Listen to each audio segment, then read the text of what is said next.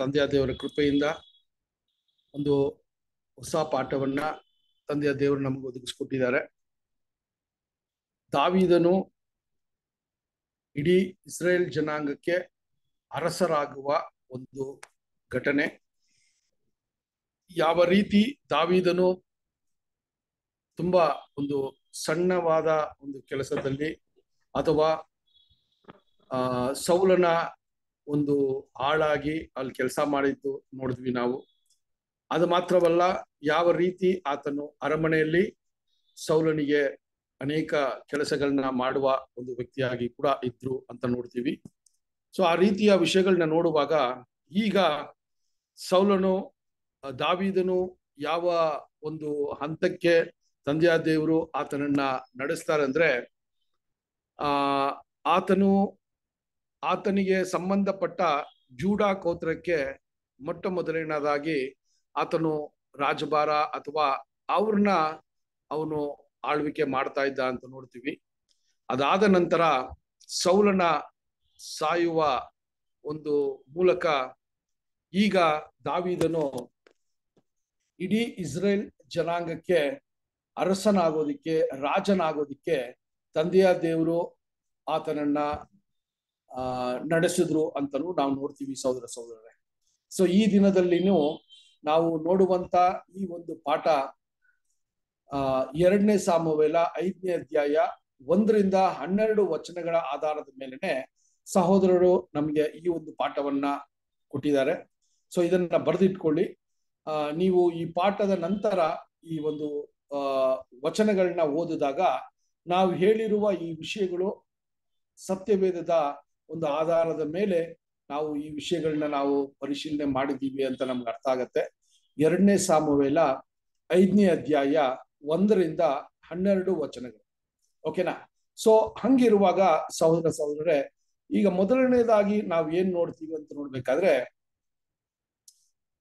ದಾವಿದನು ಈ ಒಂದು ಸ್ಥಾನಕ್ಕೆ ಅಥವಾ ಈ ಒಂದು ಪದವಿಗೆ ಆತನು ಬರಬೇಕಾದ್ರೆ ಆತನ ಒಂದು ಶಕ್ತಿನೋ ಆತನ ಒಂದು ಬಲ ಅಥವಾ ಆತನಿಂದ ಏನಾದ್ರೂ ಒಂದು ಕಾರ್ಯಗಳು ನಡೀತಾ ಅಂತ ನೋಡ್ಬೇಕಾದ್ರೆ ನಿಜವಾಗ್ಲೂ ಆ ರೀತಿಯಾಗಿ ಇರ್ಲಿಲ್ಲ.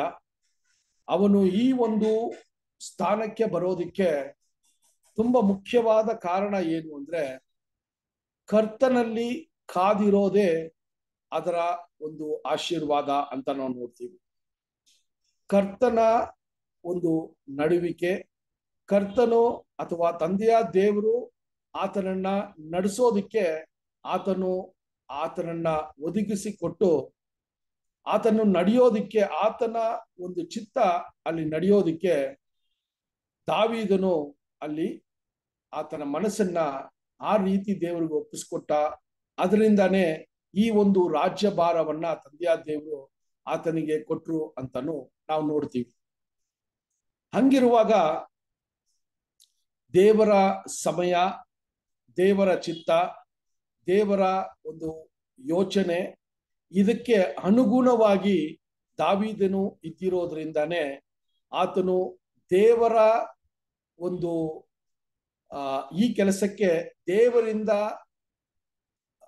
ಆಶೀರ್ವಾದ ಪಟ್ಟ, ಆಶೀರ್ವದಿಸಿರುವ ಒಬ್ಬ ವ್ಯಕ್ತಿಯಾಗುನು.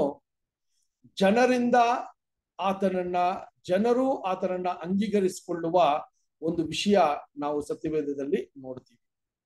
ಯಾಕೆ ಅಂತ ನೋಡ್ಬೇಕಾದ್ರೆ ಸಹೋದರ ಸಹೋದರರೇ, ಅಲ್ಲಿ ಜೂಡಾ ಕೋತ್ರ ಆ ಒಂದು ಜೂಡಾ ಕೋತ್ರ ಬಿಟ್ಟು ಬೇರೆ ಯಾರು ದಾವಿದನ ಮೇಲೆ ಅಷ್ಟು ಒಂದು ನಂಬಿಕೆನೋ ಅಥವಾ ರಾಜನಾಗೋದಿಕ್ಕೆ ಆತನನ್ನ ಆತನ, ಆತನು ರಾಜನಾಗೋದಿಕ್ಕೆ ಅನೇಕರಿಗೆ ಇಷ್ಟ ಇಲ್ದಂಗಿತ್ತು. ಆದ್ರೆ ದೇವರು ಕಾಲಕ್ರಮೇಣ ಅವರು ಮಾಡಿರುವ ವಿಷಯಗಳಲ್ಲಿ ಇಡೀ ಇಸ್ರೇಲ್ ಜನಾಂಗ ಆತನನ್ನ ರಾಜನಾಗಿ ಅವರೇ ಬಂದು ಆತನನ್ನ ಕೇಳ್ಕೊಂಡು ನಮಗೆ ನೀನ್ ಅರಸನು ಅಥವಾ ರಾಜನಾಗಬೇಕು ಅಂತ ಅಲ್ಲಿ ಕೇಳ್ಕೊಂಡಿರೋ ವಿಷಯಗಳನ್ನ ನಾವು ನೋಡ್ತೀವಿ ಸಹೋದರ ಸಹೋದರ ಆ ವಚನಗಳನ್ನ ನಾವು ಓದಿದ್ರೆ ಹೇಳ್ತಾರೆ, ದಾವಿದನನ್ನ ನೋಡಿ ಅಲ್ಲಿರೋ ಜನ ಹೇಳ್ತಾರೆ, ನೀವು ನಮ್ಮ ಎಲುಬಿನ ಎಲುಬಾಗಿದ್ದೀರಾ? ನಮ್ಮ ಮಾಂಸ, ನಮ್ಮ ಒಂದು ಶರೀರದ ಒಂದು ಅಂಗವಾಗಿರೋದ್ರಿಂದ ನೀವು ನಮ್ಮನ್ನ ನಡೆಸೋದು ಒಳ್ಳೇದು ಅಂತ ಅಲ್ಲಿ ಹೇಳೋದನ್ನ ನಾವು ನೋಡ್ತೀವಿ ಸಹೋದರ ಸಹೋದರರೇ. ಒಂದು ವಚನವನ್ನ ಓದೋಣ. ಎರಡನೇ ಸಾಮವೇಲ ಐದನೇ ಅಧ್ಯಾಯ ಹತ್ತನೇ ವಚನ ಓದೋಣ. ಸೆಕೆಂಡ್ ಸಾ, ಎರಡನೇ ಸಾಮವೇಲ ಐದನೇ ಅಧ್ಯಾಯ ಹತ್ತನೇ ವಚನ. ಸೇನಾಧೀಶ್ವರನಾದ ಯಹೋವ ಯಹೋವ ದೇವರೇ ಅವನ ಸಂಗಡ ಇದ್ದದರಿಂದ ಅವನು ಅಭಿವೃದ್ಧಿ ಹೊಂದುತ್ತಾ ಹೋದನು. ಆ ನೋಡ್ರಿ. ಇದು ತುಂಬಾ ಮುಖ್ಯ. ನಾವು ನೋಡುವಂತ ಈ ಪಾಠದಲ್ಲಿ ಆತನ ಬಲ ಶಕ್ತಿ ಆತನ ಜ್ಞಾನದಲ್ಲಿ ಅವನು ಮೇಲೆ ಅವನು ಹೋಗಿಲ್ಲ. ಬದಲಾಗಿ ದೇವರು ಆತನ ಸಂಗಡ ಇರೋದ್ರಿಂದ ಆತನು ಅಲ್ಲಿ ಬಲಿಷ್ಠನಾಗಿ ಅಥವಾ ಅರಸನಾಗೋದಿಕ್ಕೆ ಒಂದು ವಿಶೇಷವಾದ ಆಶೀರ್ವಾದ ಇತ್ತು ಅಂತ ನೋಡ್ತೀವಿ. ಸೊ ಇಲ್ಲಿ ನಮಗೆ ಪಾಠ ಏನು ಅಂದ್ರೆ ದೇವರು ನಮ್ಮಲ್ಲಿ ಇರಬೇಕು ಅಂದ್ರೆ ನಾವು ದೇವರಿಗೆ ಮೆಚ್ಚುಗೆಯಾಗಿ ವಿಧೇಯರಾಗಿ ಇದ್ರೆ ಮಾತ್ರ ದೇವರು ನಮ್ಮಲ್ಲಿ ಇರೋಕೆ ಸಾಧ್ಯ. ಅದು ದಾವೀದನ ಜೀವನದಲ್ಲಿ ಸಂಪೂರ್ಣಗೊಳ್ತು ಅಂತ ನಾವು ನೋಡ್ತೀವಿ ಸಹೋದರ ಸಹೋದರರೇ ಸೊ ಆ ರೀತಿಯ ವಿಷಯಗಳನ್ನ ನಾವು ನೋಡುವಾಗ ಈ ಒಂದು ಕಾರ್ಯಗಳನ್ನ ಅಲ್ಲಿ ದಾವಿದನು ಅರಸನಾಗಿ ಅಲ್ಲಿ ನಿಯಮಕ ಮಾಡಬೇಕು ಅಂತ ಜನರು ನಿರ್ಧಾರ ಮಾಡುವಾಗ ಅಲ್ಲಿ ದಾವಿದನ ಒಂದು ಮನಸ್ಥಿತಿ ಯಾವ ರೀತಿ ಇತ್ತು ಅಂದ್ರೆ ಒಂದು ಕ್ರೂರವಾದ ಒಂದು ವ್ಯಕ್ತಿಯಾಗಿ ಅಥವಾ ದಬ್ಬಾಳಿಕೆ ಮಾಡುವ ಒಂದು ಅರಸನಾಗ ಅಲ್ಲ. ಎಷ್ಟೋ ವಿಷಯಗಳಲ್ಲಿ ಆತನು ಆತನಿಗೆ ಇರುವಂತ ಒಂದು ಇತಿ ಮಿತಿಗಳನ್ನ ಸರಿಯಾದ ರೀತಿಯಲ್ಲಿ ದೇವರ ಮಕ್ಕಳನ್ನ ನಡೆಸೋದಿಕ್ಕೆ ಅವನು ಅಲ್ಲಿ ನೋಡ್ಕೊಂಡ್ರು ಅಂತಾನು ನಾವು ನೋಡುವಂತರಾಗಿದ್ದೀವಿ ಸಹೋದರ ಸಹೋದರರೇ. ಯಾಕೆ ಅಂತ ನೋಡ್ಬೇಕಾದ್ರೆ ಅಲ್ಲಿ ಸಹೋದರ ಸಹೋದರರೇ ಇಸ್ರೇಲ್ ಜನಾಂಗವನ್ನ ನಡೆಸುವ ಅಥವಾ ಆಳ್ವಿಕೆ ಮಾಡುವ ಅರಸನಾಗಿ ಅಲ್ಲ, ದೇವರ ಮಕ್ಕಳನ್ನ ಸರಿಯಾದ ರೀತಿಯಲ್ಲಿ ನಡೆಸುವ ಒಬ್ಬ ಅರಸನಾಗೆ ದಾವಿದನು ಅಲ್ಲಿ ಕಾಣಿಸ್ಕೊಂಡ್ರು. ಸೊ ಆತನ ಬಲಶಕ್ತಿ, ಆತನ ಜ್ಞಾನ, ಆತನ ಚಿತ್ತ ಅಲ್ಲಿ ಇಸ್ರೇಲ್ ಜನಾಂಗದ ಮೇಲೆ ತೋರಿಸಿಲ್ಲ. ಬದಲಾಗಿ ದೇವರ ಮಕ್ಕಳನ್ನ ದೇವರ ಮೆಚ್ಚುಗೆಯಾಗಿ ಇರುವಂತ ರೀತಿಯಲ್ಲಿ ದಾವಿದನು ನಡೆಸೋದಿಕ್ಕೆ ಅಲ್ಲಿ ಮುಂದೆ ಬಂದಿರೋದ್ರಿಂದ ಅಲ್ಲಿ ಕಾರ್ಯಗಳು ದೇವರ ಒಂದು ಚಿತ್ತಕ್ಕೆ ಅನುಗುಣವಾಗಿ ನಡೀತು ಅಂತಾನು ನಾವು ನೋಡ್ತೀವಿ ಸಹೋದರ ಸಹೋದರ ಸೊ ಆ ರೀತಿಯ ವಿಷಯಗಳನ್ನ ನಾವು ಗಮನ ಕೊಟ್ಟಾಗ ನಮಗೆ ಯಾವ ರೀತಿಯ ಕಾರ್ಯಗಳು ನಾವು ನೋಡ್ತೀವಿ. ಸೊ ಹಂಗಿರುವಾಗ ಈಗ ದಾವಿದನನ್ನ ಅರಸನಾಗಿ ಅಥವಾ ಅಲ್ಲಿ ರಾಜನಾಗಿ ಮಾಡೋದಿಕ್ಕೆ ಮುಂದೆ ಬಂದ ನಂತರ ಈಗ ದಾವಿದನು ಜೆರುಸಲೇಮನ್ನ ಆತನ ಒಂದು ಕ್ಯಾಪಿಟಲ್ ಆಗಿ ಅಲ್ಲಿ ಮಾಡೋದನ್ನ ನಾವು ನೋಡ್ತೀವಿ, ಅಲ್ವಾ? ಜೆರುಸಲೇಮ್ನ ಅವನ ಆ ರಾಜಧಾನಿಯಾಗಿ ಮಾಡಬೇಕಿಲ್ಲ. ಆ ರಾಜಧಾನಿಯಾಗಿ ಮಾಡುವಾಗ ಜೆರುಸಲೇಮ್ ಯಾವ ರೀತಿ ಇತ್ತು ಅಂತ ನೋಡ್ಬೇಕಾದ್ರೆ, ಆ ಆ ನೇಚರ್ ಅಲ್ಲೇ ಆ ಒಂದು ದೇವರ ಒಂದು ಸೃಷ್ಟಿಯಲ್ಲೇ ಈ ಜೆರುಸಲೇಮ್ ಪಟ್ಟಣ ಯಾವ ರೀತಿ ಇತ್ತು ಅಂತ ನೋಡ್ಬೇಕಾದ್ರೆ ಸಹೋದರ ಸಹೋದರರೇ, ಅದು ತುಂಬಾ ಸುರಕ್ಷಿತವಾದ ಒಂದು ಪಟ್ಟಣವಾಗಿತ್ತು. ಒಂದು ಬೆಟ್ಟದ ಉತ್ ಏನ್ರಿ, ಎತ್ತರದಲ್ಲಿ ಇರುವ ಒಂದು, ಆ, ಒಂದು ಜಾಗವಾಗಿತ್ತು.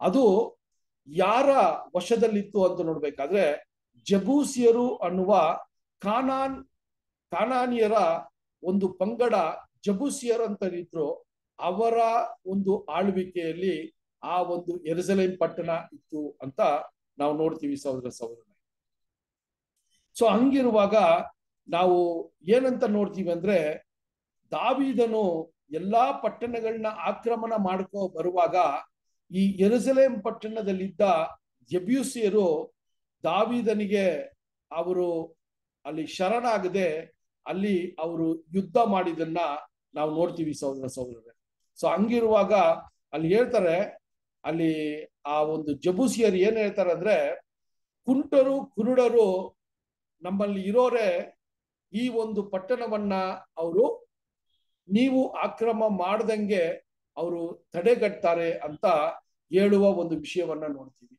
ಯಾಕೆ ಅಂದ್ರೆ, ಆ ಪಟ್ಟಣದ ಒಂದು ನಿರ್ಮಾಣ ಆ ರೀತಿ ಇತ್ತು ಅಂತ ನೋಡ್ತೀವಿ. ಯಾರು ಅವ್ರನ್ನ ಸೋಲ್ಸಕ್ಕಾಗಲ್ಲ, ಯಾರು ಆ ಪಟ್ಟಣವನ್ನ ಮುತ್ತಿಗೆ ಮಾಡಕ್ಕೆ ಸಾಧ್ಯವಿಲ್ಲ ಅಂತಾನೆ ಈ ಒಂದು ವಿಷಯಗಳನ್ನ ಅಲ್ಲಿ ಹೇಳೋದನ್ನ ನಾವು ನೋಡ್ತೀವಿ ಸಹೋದರ ಸಹೋದರ. ಸೊ ಹಂಗಿರುವಾಗ ಇಲ್ಲಿ ನಾವು ನೋಡುವಂತ ಕಾರ್ಯಗಳು ಏನು ಅಂತ ನೋಡ್ಬೇಕಾದ್ರೆ ದಾವಿದನು ಯಾವ ರೀತಿ ಆ ಪಟ್ಟಣವನ್ನ ಆಕ್ರಮಣ ಮಾಡಿದ್ರು ಅಥವಾ ಎರಿಸಲೇಮನ್ನ ಯಾವ ರೀತಿ ಆತನ ರಾಜಧಾನಿಯಾಗಿ ಮಾಡಿಕೊಂಡ್ರು ಅಂತ ನಮಗೆ ಸ್ಪಷ್ಟವಾಗಿ ವಚನಗಳು ಏನಂತ ತೋರಿಸ್ತದೆ ಅಂತ ನೋಡ್ಬೇಕಾದ್ರೆ ದಾವೀದನು ನೀವು ವಚನಗಳನ್ನ ನಾನು ಕೊಟ್ಟಿರುವ ಆ ಒಂದು ಎರಡನೇ ಸಾಮವೇಲದ ವಚನಗಳನ್ನ ನೀವು ನಿಧಾನಕ್ಕೆ ಓದಿ ನೋಡಿದ್ರೆ ಅಲ್ಲಿ ದಾವಿದನು ಆತನ ಸಂಗಡ ಇದ್ದ ಜನಕ್ಕೆ ಒಂದು ಚುನೌತಿಯನ್ನ ಕೊಡ್ತಾನೆ ಅಥವಾ ಒಂದು ಚಾಲೆಂಜ್ನ ಕೊಡ್ತಾನೆ. ಒಂದು, ಆ, ಒಂದು ಟೆಸ್ಟ್ ಅನ್ನ ಕೊಡ್ತಾರೆ. ಏನು ಅಂದ್ರೆ, ಸಹೋದರ ಸಹೋದರರೇ, ಯಾರು ಈ ಒಂದು ಪಟ್ಟಣವನ್ನ ಆಕ್ರಮಣ ಮಾಡೋದಕ್ಕೆ ನೀವು ಸಾಧ್ಯನೋ ಅವರನ್ನ ನೀವೇನ್ ಮಾಡ್ರಿ? ನೀವು ಆ ಪಟ್ಟಣವನ್ನ ನಾವು ಜಯಗೊಂಡು ತಗೊಳ್ಳೋಣ ಅಂತ ಹೇಳುವಾಗ ಅಲ್ಲಿ ದಾವಿದನು ಏನ್ ಮಾಡ್ತಾರಂದ್ರೆ ಆ ಪಟ್ಟಣದ ಎತ್ತರವಾದ ಪ್ರದೇಶದಿಂದ ಅವನು ಆ, ಅವರು ದಾಳಿ ಮಾಡದೆ ಆ ಪಟ್ಟಣಕ್ಕೆ ಯಾವ ರೀತಿ ನೀರು ಹೋಗುವ ಒಂದು ಮಾರ್ಗ ಇದೆಯೋ ಆ ನೀರು ಹೋಗುವ ಮಾರ್ಗದಿಂದಾನೇ ಅಲ್ಲಿ ಆ ಪಟ್ಟಣಕ್ಕೆ ಪಟ್ಟಣವನ್ನ ಆಕ್ರಮಣ ಮಾಡಿದ್ರು ಅಂತಾನು ನಾವು ಸತ್ಯವೇದದಲ್ಲಿ ಈ ವಚನದ ಮೂಲಕ ಈ ಕಾರ್ಯಗಳನ್ನ ನೋಡಬಹುದು ಸಹೋದರ ಸಹೋದರ ಸೊ ಆ ರೀತಿಯ ವಿಚಾರಗಳನ್ನ ನಾವು ನೋಡುವಾಗ ಒಂದು ವಚನವನ್ನ ಓದ್ರಿ, ಯಾವ ರೀತಿ ಜಬ್ಯೂಸಿಯ ಜಬೂಸಿಯರು ಅವರು ಮಾತುಗಳನ್ನ ಹೇಳಿದ್ರು ಅಂತ ನೋಡ್ಬೇಕಾದ್ರೆ ಅದೇ ಎರಡನೇ ಸಾಮುವೆಲ ಐದನೇ ಅಧ್ಯಾಯ ಆರನೇ ವಚನ ಓದೋಣ ಸಿಸ್ಟರ್ ಎರಡನೇ ಸಾಮುವೇಲ ಐದನೇ ಅಧ್ಯಾಯ ಆರನೇ ವಚನ. ದಾವಿದನು ತನ್ನ ಜನರನ್ನು ಕರಕೊಂಡು ಎರ್ಸೆಮಿಲಿದ್ದ ಯಹುದ್ಯ ಮೂಲ ನಿವಾಸಿಗಳಾದ ಯಬೂಷ್ಯರಿಗೆ ವಿರುದ್ಧವಾಗಿ ಹೊರಟನು. ಅವರು ಇವನು, ಇವನ ಬಳಿಗೆ ಬರಲಾರನೆಂದು ನೆನೆಸಿ ದಾವಿದನಿಗೆ, ನೀನು ಒಳಗೆ ಬರಲಾರಿ, ಕುಂಟರು, ಕುರುಡರು, ಕುಂಟರು, ಇವರೇ ನಿನ್ನ ನಟ್ಟಿ ಬಿಡುವರು ಎಂದು ಹೇಳಿದ್ದನು. ಆ, ನೋಡ್ರಿ ಎಂತ ಒಂದು ಧೈರ್ಯವಾಗಿ ಆ ಮಾತುಗಳನ್ನ ಹೇಳ್ತಾರೆ ಅಂದ್ರೆ, ಯಾರು ಈ ಜೆರುಸಲೇಂ ಪಟ್ಟಣವನ್ನ ಆಕ್ರಮ ಮಾಡೋದಿಕ್ಕೆ ಸಾಧ್ಯನೇ ಇಲ್ಲ ಅಂತ ಅಲ್ಲಿ ಆ ಜಬೂಸಿಯರು ಅಲ್ಲಿ ಅವರು ಹೆಮ್ಮೆಗೊಳ್ತಾರೆ. ಆದ್ರೆ ದಾವಿದನ ಒಂದು, ಆ, ವಿಷಯ ಹೆಂಗಿತ್ತು ಅಂತ ನೋಡ್ಬೇಕಾದ್ರೆ ಅದೇ ಎಂಟನೇ ವಚನದಲ್ಲಿ ಓದಿ ಸಿಸ್ಟರ್. ಎರಡನೇ ಸಾಮುವೇಲ, ಐದನೇ ಅಧ್ಯಾಯ, ಎಂಟನೇ ವಚನ. ಆ ದಿವಸ ದಾವಿದನು ಯಬೂಸ್ಯರನ್ನು ಜಯಿಸಬೇಕೆಂದಿರುವನು. ಜಲಧಾರೆಯಲ್ಲಿ ಹತ್ತಿ ಹೋಗಿ ದಾವಿದನಿಗೆ ಅಸಹ್ಯವಾಗಿ ಅಸ್ ಅಸಹ್ಯರಾಗಿರುವ ಕುರುಡರನ್ನು ಕುಂಟರನ್ನು ಓದಿ ಓದಿ. ಗಂಧಕದಲ್ಲಿ ನಾಶ ಮಾಡಿ ಬಿಡಲಿ ಎಂದು ಹೇಳಿದ್ದನು ಆದದ್ದರಿಂದ ಕುರುಡರು ಕುಂಟರು ಇದ್ದಾರೆ. ಒಳಗೆ ಬರ ಹೋಗಲಾರೆನೆಂದು ಹೋಗಲಾರೆ ಎಂದು ಗಾದೆ ಉಂಟು. ನೆಕ್ಸ್ಟ್ ಓದಿ ಸಿಸ್ಟರ್ ಇನ್ನೊಂದು ಒಂಬತ್ತನೇ ವಚನ ಓದಿ. ದಾವಿದನ ಕೋಟೆಗೆ ದಾವಿದ ನಗರವೆಂದು ಹೆಸರಿಟ್ಟು ಅಲ್ಲೇ ವಾಸಿಸುತ್ತಾ ಅದರ ಸುತ್ತಲೂ ಮಿಲೋಮಿನಿಂದ ಪ್ರಾರಂಭಿಸಿ ಒಳಗಣ ಪೌಳಿಗೋಡೆಯನ್ನು ಕಟ್ಟಿಸಿದನು. ನೋಡಿ ಸೊ ಅಲ್ಲಿ ನಾವ್ ಏನ್ ನೋಡ್ತೀವಿ ಅಂದ್ರೆ ಜಬೂಸಿಯರು ಯಾವ ಯಾವ ರೀತಿ ಅಲ್ಲಿ ಅವರು ಆ ಪಟ್ಟಣವನ್ನ ಆಕ್ರಮಣ ಮಾಡೋದಕ್ಕೆ ಆಗಲ್ಲ ಅಂತ ಹೇಳಿದ್ರು ದಾವಿದನು ಯಾವ ರೀತಿ ಆ ಪಟ್ಟವನ್ನ, ಪಟ್ಟಣವನ್ನ ಆಕ್ರಮಣ ಮಾಡಿ ಎರುಸಲೇಂ ಪಟ್ಟಣದ ಒಂದು ನಗರವನ್ನ ಅವನು ರಾಜಧಾನಿಯಾಗಿ ಮಾಡ್ಕೊಂಡ ಅಂತ ನಾವು ನೋಡ್ತೀವಿ ಸಹೋದರ ಸಹೋದರ ಸೊ ಈ ವಿಷಯಗಳನ್ನ ನಾವು ನೋಡುವಾಗ ಎರುಸಲೇಂ ಪಟ್ಟಣವನ್ನ ದಾವಿದನು ಮೊಟ್ಟ ಮೊದಲನೆಯದಾಗಿ ಆತನ ಒಂದು ವಶಕ್ಕೆ ತಗೊಂಡು ಅದನ್ನ ರಾಜಧಾನಿ ಅಂತ ಮಾಡ್ಕೊಂಡ್ರು ಅಂತ ನೋಡ್ತೀವಿ. ಅಲ್ಲಿಂದ ಆತನ ರಾಜ್ಯಭಾರವನ್ನ ಪ್ರಾರಂಭ ಮಾಡ್ತಾನೆ ಅಂತ ನಾವು ಸತ್ಯವೇದದಲ್ಲಿ ಈಗ ನೋಡ್ತೀವಿ ಸೊ ಅದಾದ ನಂತರ ಏನಾಗತ್ತೆ ಅಂತ ನೋಡ್ಬೇಕಾದ್ರೆ ಸಹೋದರ ಸಹೋದರರೇ, ಈಗ ನಾವು ಏನು ಒಂದು ಪಾಠಕ್ಕೆ ನಾವು ಹೋಗ್ತೀವಿ ಅಂದ್ರೆ ದಾವೀದನ ವಿಷಯದಲ್ಲಿ ಯಾವ ರೀತಿಯ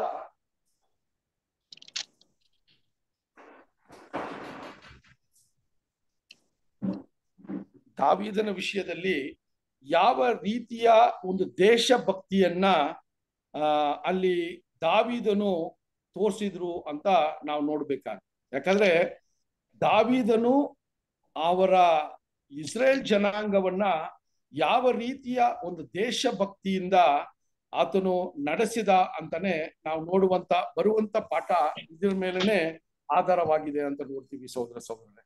ಯಾಕೆ ಅಂತ ನೋಡ್ಬೇಕಾದ್ರೆ ದಾವೀದನ ಒಂದು ವಿಷಯದಲ್ಲಿ ದಾವೀದನು ಆತನ ಸಂಪೂರ್ಣವಾದ ಸಮಯ, ಸಂಪೂರ್ಣವಾದ ಶಕ್ತಿ ದೇವರು ಕೊಟ್ಟಿರುವ ಜ್ಞಾನವನ್ನ ಇಸ್ರೇಲ್ ಜನಾಂಗವನ್ನ ಒಟ್ಟುಗೂಡಿಸಿ ದೇವರ ಮಕ್ಕಳಿಗೆ, ಮಕ್ಕಳಾಗುವ ಒಂದು ರೀತಿಯಲ್ಲಿ ದೇವರ ಒಂದು ಪರಾಮರಿಕೆಗೆ ಅವ್ರನ್ನ ತಂದಿರುವ ಘಟನೆಗಳನ್ನ ನಾವು ಸತ್ಯವೇದದಲ್ಲಿ ನೋಡ್ತೀವಿ ಸಹೋದರ ಸಹೋದರ ಸೊ ಅದರಿಂದ ದಾವೀದನ ಒಂದು ರಾಜ್ಯಭಾರದಲ್ಲಿ ನಾವು ನೋಡಿದಾಗ ಅಲ್ಲಿ ಸಂಪೂರ್ಣವಾದ ಸಮಾಧಾನ ಒಂದಷ್ಟು ಸಮಯದಲ್ಲಿ ಅಲ್ಲಿ ನೋಡ್ತೀವಿ ಅಲ್ಲಿ ನೋಡ್ತೀವಿ ಸಹೋದರ ಸಹೋದರರೇ. ಅದಾದ ನಂತರ ನಾವು ನೋಡೋದು ಏನಂತ ನೋಡ್ಬೇಕಾದ್ರೆ ಆ ಒಂದು ಒಟ್ಟುಗೂಡಿಸುವ ಒಂದು ಕೆಲಸ. ದಾವಿದನು ತುಂಬಾ ಸರಿಯಾದ ರೀತಿಯಲ್ಲಿ ಅವ್ರು ಮಾಡಿರೋದ್ರಿಂದ ಅವನು ಆ ಇಸ್ರೇಲ್ ಜನಾಂಗವನ್ನ ನಲು ಅವನು ಆಳ್ವಿಕೆ ಮಾಡುವಾಗ ಅಲ್ಲಿ ಯಾವುದೇ ರೀತಿಯ ದಾಳಿ ಮತ್ತೆ ಅವರ ವೈರಿಗಳಿಂದ ಆ ಒಂದು ಪಟ್ಟಣ ಅಥವಾ ಆ ಒಂದು ಇಸ್ರೇಲ್ ಜನಾಂಗಕ್ಕೆ ಯಾವುದೇ ಕೇಡು ಅಲ್ಲಿ ಸಂಭವಿಸುತ್ತಿಲ್ಲ ಅಂತ ನಾವು ನೋಡ್ತೀವಿ ಸಹೋದರ ಸಹೋದರರೇ. ಸೊ ಹಂಗಿರುವಾಗ ಈ ಒಂದು ದೇಶಭಕ್ತಿ ಅನ್ನುವ ಒಂದು ವಿಷಯವನ್ನ ನಾವು ಸ್ವಲ್ಪ ಗಮನ ಕೊಟ್ಟು ನೋಡಿದ್ರೆ ಈ ದೇಶಭಕ್ತಿಯ ವಿಷಯದಲ್ಲಿ ಹೀಗಿರುವ ಒಂದು ಪರಿಸ್ಥಿತಿಯನ್ನ ನಾವು ಹೋಲಿಕೆ ಮಾಡುವಾಗ ಈ ಈ ಒಂದು ಇಂಡಿಯಾ ಅಂತ ಹೇಳುವಾಗ ಅದಕ್ಕೆ ಆದಂತ ಒಂದು ದೇಶಭಕ್ತಿನ ಈ ಒಂದು ರಾಜ್ಯ, ಈ ಒಂದು, ಆ, ಏನ್ರಿ, ಕಣ್, ಈ ಒಂದು ರಾಜ್ಯದ ಜನರು ಆ ದೇಶಭಕ್ತಿಯಲ್ಲಿ, ದೇಶಭಕ್ತಿನ ನಾನಾ ರೀತಿಯಲ್ಲಿ ಅದನ್ನ ತೋರಿಸ್ತಾರೆ. ಅಲ್ವಾ? ನೀವು ನೋಡ್ಬೋದು. ಈ ಒಂದು ಯೋಧರು ಅಥವಾ ಈ ಸೋಲ್ಜರ್ಸ್ ಎಲ್ಲ ಬಾರ್ಡರ್ ಅಲ್ಲಿ ಆ ಒಂದು ಪ್ರಾಂತ್ಯವನ್ನ ಕಾಯುವಾಗ ಯಾವ ರೀತಿಯ ದೇಶಭಕ್ತಿಯನ್ನ ಅವ್ರು ತೋರಿಸ್ತಾರೆ, ಅವರು ಸಾಯಕ್ಕೆ ಅವರು ತಯಾರಾಗಿದ್ದಾರೆ, ಎಷ್ಟೋ ಜನ ಆ ದೇಶಕ್ಕೋಸ್ಕರ ಅವರು ಸಾಯೋದನ್ನ ನೋಡ್ತೀವಿ. ಇದೆಲ್ಲಾನು ದೇಶಭಕ್ತಿಯ ಒಂದು ವಿಷಯಗಳು ಅಂತ ನಾವು ನೋಡ್ತೀವಿ. ಹಂಗಿರುವಾಗ ಸಹೋದರ ಸಹೋದರರೇ, ಇಲ್ಲಿ ಸಹೋದರರು ಈ ಒಂದು ದೇಶಭಕ್ತಿಯ ವಿಷಯವನ್ನ ಮಾತನಾಡುವಾಗ ಒಂದು ವಿಷಯವನ್ನ ಹೇಳ್ತಾರೆ.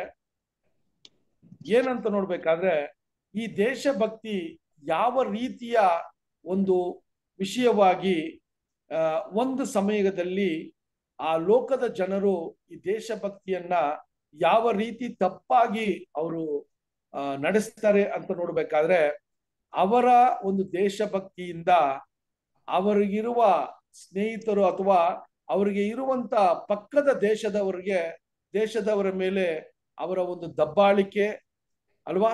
ಅವರ ಮೇಲೆ ಒಂದು ಅವ್ರಿಗಿರುವಂತ ಸೆಲ್ಫಿಶ್ನೆಸ್ಸು ಅವ್ರಿಗಿರುವಂತ ಒಂದು ಸ್ವಾರ್ಥತೆ, ಈ ಸ್ವಾರ್ಥತೆಯಲ್ಲಿ ಪಕ್ಕದ ದೇಶದವ್ರನ್ನ ಎಷ್ಟು ಅವ್ರೇನ್ ಮಾಡ್ತಾರ್ರಿ ಕೀಳಾಗಿ ಅಥವಾ ಅವ್ರನ್ನ ತುಂಬಾ ದೌರ್ಜನ್ಯ ಮಾಡುವ ಒಂದು ವಿಷಯವನ್ನ ಅಲ್ಲಿ ತಪ್ಪಾದ ದೇಶಭಕ್ತಿ ಅಂತ, ದೇಶಭಕ್ತಿಯಿಂದ ಆ, ಅವರು ಕಾಯ್ತಾರೆ ಅಂತ ನೋಡ್ತೀವಿ ಸಹೋದರ ಸಹೋದರ ಸೊ ಹಂಗಿರುವಾಗ ಇದು ಪ್ರಾಕ್ಟಿಕಲ್ ಆಗಿ ಈಗಿರುವ ಒಂದು ಲೈಫ್ ಸ್ಟೈಲು ಅಥವಾ ಈಗಿರುವ ಒಂದು ಸಮಯಕ್ಕೆ ನಾವು ಹೋಲಿಕೆ ಮಾಡಿದ್ರೆ ಇದು ದೇಶಭಕ್ತಿಯನ್ನ ನಾನಾ ರೀತಿಯಲ್ಲಿ ಈ ಒಂದು ಜನ, ನೀವು ಉದಾ, ನೀವು ಎಕ್ಸಾಂಪಲ್ಗೆ ತಗೊಂಡ್ರೆ ಯು ಎಸ್ ಎ ಅಲ್ವಾ ಯುನೈಟೆಡ್ ಸ್ಟೇಟ್ಸ್ ಆಫ್ ಅಮೆರಿಕಾ ಅಂತ ನಾವು ನೋಡ್ತೀವಿ. ಇವರ ದೇಶಭಕ್ತಿ ಹೆಂಗಿದೆ ಅಂತ ನೋಡ್ಬೇಕಾದ್ರೆ, ಇವರು ತಗೊಳ್ಳುವಂತ ನಿರ್ಧಾರಗಳು, ಇವರು ಮಾಡುವಂತ ಕೆಲಸಗಳು ಎಲ್ಲಾನು ಬೇರೆ ದೇಶಗಳಿಗೆ ಹಾನಿ ಉಂಟಾಗುವ ಒಂದು ಕಾರ್ಯವಾಗಿರ್ತದೆ ಅಧಿಕವಾಗಿ.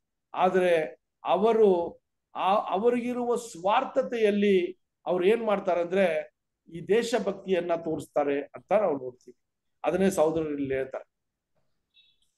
ಉದಾಹರಣೆಗೆ ನೀವು ನೋಡ್ಬೇಕಾದ್ರೆ ಯು ಎಸ್ ಎಲ್ಲಿ ಅಮೆರಿಕಾದಲ್ಲಿ ಅವರಿಗೆ ಬೇಕಾಗಿರುವಂತ ಏನಂತ, ಈ ಮಣ್ಣನ್ನೇ ಆಯಿಲ್ ಸಿಗತ್ತೆ. ಆದ್ರೆ ಅವ್ರು ಏನ್ ಮಾಡ್ತಾ ಇದಾರೆ ಅಂದ್ರೆ, ಆ ಒಂದು ಆಯಿಲ್ನ ಆ ಒಂದು ಎಣ್ಣೆನ ಅವ್ರು ಯೂಸ್ ಮಾಡದೆ, ಅದನ್ನ ಅವರು ಏನ್ರಿ, ಈ ಭೂಮಿ ಕೆಳಗಿಂದ ತೆಗಿದೆ ಅವ್ರು ಏನ್ ಮಾಡ್ತಾ ಇದಾರೆ ಅಂದ್ರೆ ಗಲ್ಫ್ ಕಂಟ್ರೀಸ್ ಇದೆಯಲ್ಲ, ಅರೇಬಿಯಾ ಕಂಟ್ರಿ ಅಲ್ಲಿಂದ ಆದಷ್ಟು ಎಣ್ಣೆನ ಅವರು ಯೂಸ್ ಮಾಡ್ತಾರೆ ಅವ್ರು, ಅವ್ರ ದೇಶದಲ್ಲಿ. ಯಾಕೆ ಅಂದ್ರೆ ಅವರಲ್ಲಿ ಇರೋದನ್ನ ಹಂಗೆ ಇಟ್ಟಿರ್ತಾರೆ ಫ್ಯೂಚರ್ ಬರುವಂತ ದಿನಗಳಿಗೆ ಯೂಸ್ ಮಾಡ್ಕೋಬಹುದು ಅಂತ. ಆದ್ರೆ ಎಲ್ಲೋ ಒಂದ್ ಕಡೆ ಅದು ಸಿಗೋದನ್ನ ಫಸ್ಟ್ ಬಳಸ್ಕೋತಾರೆ. ಇದೆಲ್ಲ ನಾವು ಏನ್ ನೋಡ್ತೀವಿ ಅಂದ್ರೆ ಅವರ ಒಂದು ಸ್ವಾರ್ಥತೆಯಲ್ಲಿ ಆ ದೇಶವನ್ನ ಅವ್ರು ಕಾಪಾಡ್ತಾ ಇದ್ದಾರೆ. ಬೇರೆಯೊಬ್ಬರಿಗೆ ಹಾನಿ ಆಗೋ ರೀತಿಯಲ್ಲಿ ಅವ್ರು ನಡೆಸ್ಕೊತಾ ಇದ್ದಾರೆ ಅಂತ ನಾವು ನೋಡ್ತೀವಿ. ಅದಕ್ಕೆ ಸಹೋದರರು ಹೇಳುವಾಗ ಹೇಳ್ತಾರೆ, ಇದೆಲ್ಲಾನು ಅವ್ರು ಇರುವಂತ ಒಂದು ಸ್ವಾರ್ಥತೆಯ ಮನೋ ಮನೋಭಾವದಲ್ಲಿ ಈ ಕೆಲಸಗಳನ್ನ ಮಾಡ್ತಾರೆ ಅಂತ ಹೇಳ್ತಾರೆ ಸಹೋದರ ಸಹೋದರರೇ. ಸೊ ಒಬ್ಬ ಇಲ್ಲಿ ಏನಕ್ಕೆ ಈ ಒಂದು ದೇಶಭಕ್ತಿಯನ್ನ ಹೋಲಿಕೆ ಮಾಡ್ತಾರೆ ಅಂದ್ರೆ ಒಬ್ಬ ಕ್ರೈಸ್ತನಾಗಿ ತಂದೆಯ ದೇವರ ಮಕ್ಕಳಾಗಿ ನಾವು ದೂರದ ದೇಶ ಅಥವಾ ಪರಲೋಕದ ಬಾಧ್ಯದಾರಾಗಿ ನಮ್ಮನ್ನ ತಂದೆಯ ದೇವರು ಕರೆದಿದ್ದಾರೆ.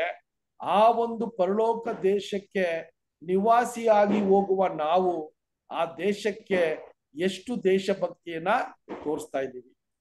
ಪರಲೋಕದ ವಿಚಾರಗಳಲ್ಲಿ ಎಷ್ಟು ದೇಶಭಕ್ತಿಯನ್ನ ಒಬ್ಬ ಕ್ರೈಸ್ತನು ತೋರಿಸ್ತಾ ಇದ್ದಾನೆ. ಸೊ ಆ ರೀತಿಯ ವಿಚಾರಗಳನ್ನ ನೋಡ್ಬೇಕಾದ್ರೆ ಸಹೋದರ ಸಹೋದರರೇ, ಅಲ್ಲಿ ಫಸ್ಟ್ ಆಫ್ ಆಲ್ ನಾವೇನಂತ ನೋಡ್ತೀವಿ ಅಂದ್ರೆ, ಈ ಕ್ರೈಸ್ತನ ದೇಶಭಕ್ತಿ ಯಾವುದೇ ರೀತಿಯ ಸ್ವಾರ್ಥತೆನೋ, ಯಾವುದೇ ರೀತಿಯ ಹಗೆತನನೋ, ಅಥವಾ ಯಾರಿಗೂ ಕೆಡುಕನ್ನ ತರೋ ಒಂದು ವಿಷಯ ಅಲ್ಲ. ಅಲ್ಲಿ ಏನಂತ ನೋಡ್ತೀವಿ ಅಂದ್ರೆ, ಸಹೋದರ ಸಹೋದರರೇ, ಈ ಒಂದು ತಂದೆಯ ದೇವರು ನಮಗೆ ಕೊಟ್ಟಿರುವ ದೇವರ ಮಕ್ಕಳನ್ನ ಒಟ್ಟುಗೂಡಿಸಿ ದೇವರ ಮಕ್ಕಳನ್ನ ಆ ಒಂದು ನಿರೀಕ್ಷೆ, ಆ ನಿರೀಕ್ಷೆಯಲ್ಲಿ ನಮಗೆ ಬರುವಂತ, ಆ ಒಂದು ರಕ್ಷಣೆ ಇದೆಯಲ್ಲ, ಆ ರಕ್ಷಣೆಯನ್ನ ಕೈ, ಕರೆದೊಯ್ಯೋದಕ್ಕೆ ನಾವು ಎಷ್ಟು ಈ ದೇಶದ ಅಥವಾ ಈ ಒಂದು ಸಮರ್ಪಣೆ ಮಾಡಿರುವ ಈ ಜನರನ್ನ ನಾವು ಕಾಪಾಡ್ತೀವಿ, ಅವ್ರನ್ನ ಕರೆದೊಯ್ಯೋ, ಕರೆದೊಯ್ತೀವಿ ಅಂತಾನೆ ಇಲ್ಲಿ ನಮಗೆ ಈ ದೇಶಭಕ್ತಿಯನ್ನ ಸಹೋದರರು ಈ ಒಂದು ಪಾಠದಲ್ಲಿ ನಮ್ಗೆ ವಿಶೇಷವಾಗಿ ಇದನ್ನ ಕೊಡ್ತಾ ಇದ್ದಾರೆ. ಸೊ ಹಂಗಿರುವಾಗ ಸಹೋದರ ಸಹೋದರರೇ, ನಾವು ನೋಡುವಾಗ ಈ ಒಂದು ದೇಶಭಕ್ತಿಯ ವಿಚಾರಗಳು ಯಾವುದರ ಮೇಲೆ ಇದು ಆಧಾರಗೊಂಡಿದೆ ಅಂತ ನೋಡ್ಬೇಕಾದ್ರೆ, ಇಲ್ಲಿ ನಾವು ಏನಂತ ನೋಡ್ತೀವಿ ಅಂದ್ರೆ ಸಹೋದರ ಸಹೋದರರೇ, ಮೊಟ್ಟ ಮೊದಲನೆಯದಾಗಿ ಒಂದು ಪರಿಪೂರ್ಣ ನೀತಿಯನ್ನ ತೋರಿಸುವ ಒಂದು ದೇಶಭಕ್ತಿಯಾಗಿರ್ಬೇಕು, ಅಲ್ವಾ? ಈ ಒಂದು ನಾವು ನಾವು ಅಲ್ಲಿ ಪಡೆಯುವಂತ ಈ ಪರಲೋಕದ ಬಾಧ್ಯ ಅಥವಾ ಪರಲೋಕದ ದೇಶಕ್ಕೆ ನಾವು ದೇಶಭಕ್ತರಾಗಿ ಇರಬೇಕು ಅಂದ್ರೆ ಈ ಕಾಲ ಸಮಯದಲ್ಲಿ ಮೊಟ್ಟ ಮೊದಲನೆಯದಾಗಿ ಆ ದೇಶದ ಒಂದು ನ್ಯಾಯ ನೀತಿ ಏನು ಅಂದ್ರೆ ಪರಿಪೂರ್ಣವಾದ ಒಂದು ನೀತಿ ಪರ್ಫೆಕ್ಟ್ ರೈಚಿಯಸ್ನೆಸ್ ಅಂತ. ಅದಾದ ನಂತರ ಸಹೋದರ ಸಹೋದರರೇ, ಈ ಒಂದು ಪರಿಪೂರ್ಣ ನೀತಿಯಲ್ಲಿ ದೇವರ ಚಿತ್ತವನ್ನ ಸಂಪೂರ್ಣವಾಗಿ ಮಾಡೋದಿಕ್ಕೆ ನಾವು ತೋರಿಸುವಂತ ಆಸಕ್ತಿ. ಅಲ್ವಾ? ಸೊ ಆ ರೀತಿಯ ಒಂದು ಆಸಕ್ತಿಯಲ್ಲಿ ನಾವು ತೊಡಗಿ ಈ ದೇವರ ಮಕ್ಕಳನ್ನ ಈ ರಕ್ಷಣೆಯನ್ನ ಹೊಂದೋದಿಕ್ಕೆ ಏನೆಲ್ಲ ನಮ್ ಕೈಯಿಂದ ಸಾಧ್ಯನೋ, ದೇವರ ಒಂದು ಚಿತ್ತದ ಅನುಗುಣವಾಗಿ ನಾವು ಅವ್ರನ್ನ ದೇವರ ಒಂದು ಪರಾಮರಿಕೆ ಇಡ, ಪರಾಮರಿಕೆಯಲ್ಲಿ ಇಡೋದಕ್ಕೆ ಸಾಧ್ಯನೋ ಅಷ್ಟು ನಾವು ಮಾಡೋದಿಕ್ಕೆ ನಮ್ಮ ದೇಶಭಕ್ತಿಯನ್ನ ನಾವು ತೋರಿಸ್ಬೇಕು. ಅಲ್ವಾ? ಸೊ ಇಲ್ಲಿ ಒಂದು ಮುಖ್ಯವಾದ ವಿಷಯವನ್ನ ಹೇಳುವಾಗ ಹೇಳ್ತಾರೆ, ಈ ದೇಶಭಕ್ತಿ ಎಷ್ಟು ನಮ್ಮಲ್ಲಿ ಊರಿರ್ಬೇಕು ಅಥವಾ ಎಷ್ಟು ನಮ್ಮ ಹೃದಯದಲ್ಲಿ ಇರಬೇಕು ಅಂದ್ರೆ ಬರುವಂತ ಯುಗದಲ್ಲಿ ಎಲ್ಲಾ ದೇ, ಎಲ್ಲಾ ದೇವ ಮನುಷ್ಯರಿಗೆ ಅಥವಾ ಈ ಲೋಕದ ಎಲ್ಲಾ ಮನುಷ್ಯರಿಗೂ ತಂದೆಯ ದೇವರ ಒಂದು ಕೃಪೆ, ತಂದೆಯ ದೇವರ ಒಂದು ಆಶೀರ್ವಾದ ಸಿಕ್ಲಿ ಅಂತ ಆ ಒಂದು ಆಧಾರದ ಮೇಲೆ ನಾವು ದೇಶಭಕ್ತಿಯನ್ನ ತೋರಿಸ್ತಾ ಇದೀವ ಅಂತನೂ ನಮಗೆ ಒಂದು, ಆ, ಒಂದು ಪ್ರಶ್ನೆಯನ್ನ ಇಲ್ಲಿ ಹಾಕೋದನ್ನ ನಾವು ನೋಡ್ತೀವಿ ಸಹೋದರ ಸಹೋದರರೇ. ಯಾಕಂದ್ರೆ ನಾವು ಯಾವ ಒಂದು ದೇಶಕ್ಕೋಸ್ಕರ ಈ ದೇಶಭಕ್ತಿಯನ್ನ ನಾವು ತೋರಿಸ್ತಾ ಇದೀವೋ ಅದು ನಿತ್ಯ ನಿವಾಸಿಯಾಗಿ ಇರುವುದಕ್ಕೆ ನಾವು ತಯಾರಿ ಮಾಡಿಕೊಳ್ಳುವ ಒಂದು ಮುಖ್ಯವಾದ ವಿಷಯವಾಗಿದೆ ಅಂತ ನೋಡ್ತೀವಿ ಸಹೋದರ ಸಹೋದರರೇ. ಯಾಕಂದ್ರೆ ಈ ಪರಲೋಕದ ಒಂದು ವಿಷಯ ನಾವು ಯೇಸು ಸ್ವಾಮಿ ನಮಗೆ ಹೇಳ್ಕೊಟ್ಟಿರುವ ಪ್ರಾರ್ಥನೆಯನ್ನ ನೋಡ್ಬೇಕಾದ್ರೆ ಅಲ್ಲಿ ಹೇಳ್ತಾರೆ, ಪರಲೋಕದಲ್ಲಿ ನಿಮ್ಮ ಚಿತ್ತ ಯಾವ ರೀತಿ ಇದೆಯೋ ಅದು ಭೂಲೋಕದಲ್ಲಿ ನೆರವೇರ್ಲಿ ಅಂತ ಹೇಳುವಾಗ ಸಹೋದರ ಸಹೋದರರೇ, ಇದೇ ಈ ಒಂದು ಪರಲೋಕದ ಬಾಧ್ಯರಾಗಿ ನಾವು ಮಾರ್ಪಡೆ ಆಗ್ಬೇಕಾದ್ರೆ ಆ ಪರಲೋಕದ ಮಾರ್ಗಕ್ಕೆ ಕರೆದಿರುವ ನಮ್ಮ ಸಹೋದರ ಸಹೋದರನ್ನ ಯಾವ ರೀತಿ ನಾವು ಒಟ್ಟಾಗಿ ಒಬ್ರೊಬ್ರು ಅನ್ಯೋನ್ಯತೆಯಿಂದ ಆ ದೇಶವನ್ನ ಕಾಪಾಡೋದಿಕ್ಕೆ ಏನ್ರಿ ಸೈತಾನನ ಯಾವುದೇ ವಿಧವಾದ ದಾಳಿಗೂ ನಾವು ಜಾಗ ಕೊಡದೆ ಈ ಒಂದು ದೇಶವನ್ನ ಅಥವಾ ದೇಶದ ಜನರನ್ನ ನಾವು ಕಾಪಾಡಬೇಕು. ಅದು ಯಾರು ಅಂದ್ರೆ ಈ ಒಂದು ಸಭೆ ಎನ್ನುವ ಈ ಒಂದು ಪಂಗಡವನ್ನ. ಅಲ್ವಾ? ಸೊ ಇದು ನಮ್ಮ ಮುಖ್ಯ ಗುರಿಯಾಗಿರ್ಬೇಕು. ಈ ಒಂದು ಗುರಿಯಲ್ಲಿ ನಾವು ಯಶಸ್ವಿ ಆಗೋದಕ್ಕೆ ತಂದೆಯ ದೇವರ ಕೃಪೆ ನಮ್ಮಲ್ಲಿ ಯಾವಾಗ್ಲೂ ಅದು ಇದ್ದೇ ಇರ್ತದೆ ಸಹೋದರ ಸಹೋದರ ಹಂಗಿರುವಾಗ ಈ ಒಂದು ದೇಶಭಕ್ತಿ ಎಷ್ಟು ನಮ್ಮಲ್ಲಿ ಅಧಿಕವಾಗಿರ್ಬೇಕು ಅಂದ್ರೆ ಬರುವಂತ ನೀತಿಯ ರಾಜ್ಯವನ್ನ ನಾವು ಅಲ್ಲಿ ಸ್ವೀಕಾರ ಮಾಡಬೇಕು ಅಂದ್ರೆ ಸಹೋದರ ಸಹೋದರರೇ, ಈ ಒಂದು ಕಾಲ ಸಮಯದಲ್ಲಿ ಈ ಒಂದು ಲೋಕವನ್ನ ಆಳ್ವಿಕೆ ಮಾಡ್ತಾ ಇರುವ ಸೈತಾನನ ಒಂದು ಆಳ್ವಿಕೆಯಲ್ಲಿ ನಾವು ಈ ದೇಶಭಕ್ತಿಯನ್ನ ಎಷ್ಟು ಮಟ್ಟಿಗೆ ನಾವು ಇದನ್ನ ಕಾಪಾಡ್ಕೋಬೇಕು. ನಮಗೆ ದೇವರು ಕೊಟ್ಟಿರುವ ಒಂದೊಂದು ಸಹೋದರ ಸಹೋದರರನ್ನ ಯಾವ ರೀತಿ ಈ ದೇಶಭಕ್ತಿಯಿಂದ ನಮ್ಮ ಜೀವವನ್ನ ಕೊಟ್ಟು ಅವ್ರನ್ನ ಈ ಸತ್ಯದ ಮಾರ್ಗದಲ್ಲಿ ನಡೆಸಬೇಕು ಅಂತ ಈ ದೇಶಭಕ್ತಿ ನಮ್ಮಲ್ಲಿ ಇರಬೇಕು. ದಾವಿದನಿಗೆ ಯಾವ ರೀತಿ ತಂದೆಯ ದೇವರ ಒಂದು ಆಳ್ವಿಕೆಯಲ್ಲಿ ಆತನನ್ನ ದೇವರು ಅರಸನಾಗಿ ಮಾಡಿದಾಗ ಇಸ್ರೇಲ್ ಜನಾಂಗವನ್ನ ದೇವರ ಒಂದು ಚಿತ್ತದಲ್ಲಿ ದೇವರನ್ನ ಪೂಜಿಸುವ ವಿಷಯದಲ್ಲಿ ತುಂಬಾ ಒಂದು ಪ್ರಾಮುಖ್ಯವಾದ ಒಂದು ಸ್ಥಾನವನ್ನ ಕೊಟ್ಟು ದೇವಾಲಯವನ್ನ ನಿರ್ಮಾಣ ಮಾಡಬೇಕು ಅಂತ ಆತನ ಛಲವನ್ನ ನೋಡ್ತೀವಿ ನಾವು. ಇದು ದೇವರ ಮಕ್ಕಳಿಗೆ ಅವನು ಕೊಟ್ಟಿರುವಂತ ದೇಶಭಕ್ತಿಯಾಗಿತ್ತು ಅಲ್ವಾ? ಸೊ ಹಂಗಿರುವಾಗ ಯೇಸು ಕ್ರಿಸ್ತನು ಅರಸನಾಗಿ ಸ್ವೀಕಾರ ಮಾಡ್ಕೊಂಡಿದ್ದೀವಿ ನಮ್ಮ ಜೀವನದಲ್ಲಿ. ಯೇಸು ಸ್ವಾಮಿ ನಮ್ಮ ರಾಜನಾಗಿ ಸ್ವೀಕಾರ ಮಾಡ್ಕೊಂಡಿದ್ದೀವಿ. ಆ ರಾಜನಿಗೆ ಪ್ರಜೆಯಾಗಿದ್ದೀವಿ. ಸೊ ಸಹೋದರ ಸಹೋದರರೇ, ನಮ್ಮ ದೇಶಭಕ್ತಿ, ನಮ್ಮ ಅರಸನಿಗೂ ನಮ್ಮ ರಾಜ್ಯಕ್ಕೂ, ಈ ಪರಲೋಕದ ಬಾಧ್ಯಕ್ಕೂ ನಾವು ಹೆಂಗಿರ್ಬೇಕು ಅಂತ ಈ ದಿನದಲ್ಲಿ ನಮ್ಮ ಪ್ರಶ್ನೆ ಇರಬೇಕು ಸಹೋದರ ಸಹೋದರರೇ. ಯಾಕಂತ ನೋಡ್ಬೇಕಾದ್ರೆ, ಈ ಒಂದು ದೇಶಭಕ್ತಿನೇ ನಮ್ಮನ್ನ ಒಂದೊಂದು ಹೆಜ್ಜೆನು ದೇವರ ಮಕ್ಕಳಾಗಿ ನಮ್ಮನ್ನ ಒಟ್ಟುಗೂಡಿಸಿ ನಮ್ಮನ್ನ ನಮ್ಮನ್ನ ಒಂದೊಂದು ದಿನಾನು ದೇವರ ಹತ್ರ ಕರ್ಕೊಂಡು ಹೋಗೋದು ಈ ದೇಶಭಕ್ತಿಯ ವಿಚಾರ. ಅದಕ್ಕೆ ಯೋವ, ಒಂದನೇ ಯೋವನ ವಚನ ಓದುವಾಗ ಅಲ್ಲಿ ಹೇಳ್ತಾರೆ, ಯೇಸು ಕ್ರಿಸ್ತನು ಯಾವ ರೀತಿ ಆ ಪರಲೋಕದ ಬಾಧ್ಯರಾಗಿದ್ದು ಆ ಪರಲೋಕದ ಒಂದು ರಾಜ್ಯಭಾರಕ್ಕೆ ಅಥವಾ ಆಳ್ವಿಕೆಗೆ ಆತನ ಜೀವನವನ್ನೇ ಕೊಟ್ರೋ ಆ ರೀತಿ ನಾವುನು ಆ ದೇಶಭಕ್ತಿಯಿಂದ ನಮ್ಮ ಸಹೋದರ ಸಹೋದರರಿಗೆ ಪ್ರಾಣ ಕೊಡುವ ಒಂದು ಹಂಗಿನಲ್ಲಿದ್ದೀವಿ ಅಂತ ಒಂದು ವಚನ ಹೇಳ್ತಾರೆ ಒಂದನೇ ಯೌವನ ಮೂರನೇ ಅಧ್ಯಾಯ ಹದಿನಾರನೇ ವಚನ ಓದು ಅನ್ಸಿಸ್ತಾರೆ ಒಂದನೇ ಯೌವನ ಮೂರನೇ ಅಧ್ಯಾಯ ಹದಿನಾರನೇ ವಚನ.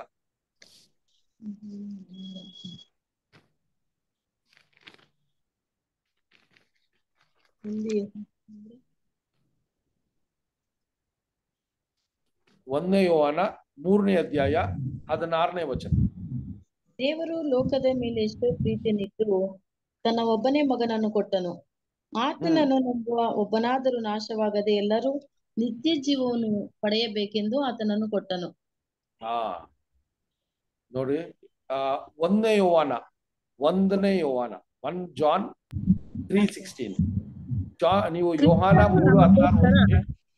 ಕ್ರಿಸ್ತನು ನಮಗೋಸ್ಕರ ತನ್ನ ಪ್ರಾಣವನ್ನು ಕೊಟ್ಟಿದ್ದರಲ್ಲಿಯೇ ಪ್ರೀತಿ ಇಂಥದ್ದೆಂದು ನಮಗೆ ತಿಳಿದು ಬಂದದೆ, ನಾವು ಸಹ ಸಹೋದರರಿಗೋಸ್ಕರ ನಮ್ಮ ಪ್ರಾಣಗಳನ್ನು ಕೊಡುವ ಹಂಗಿನಲ್ಲಿದ್ದೇವೆ.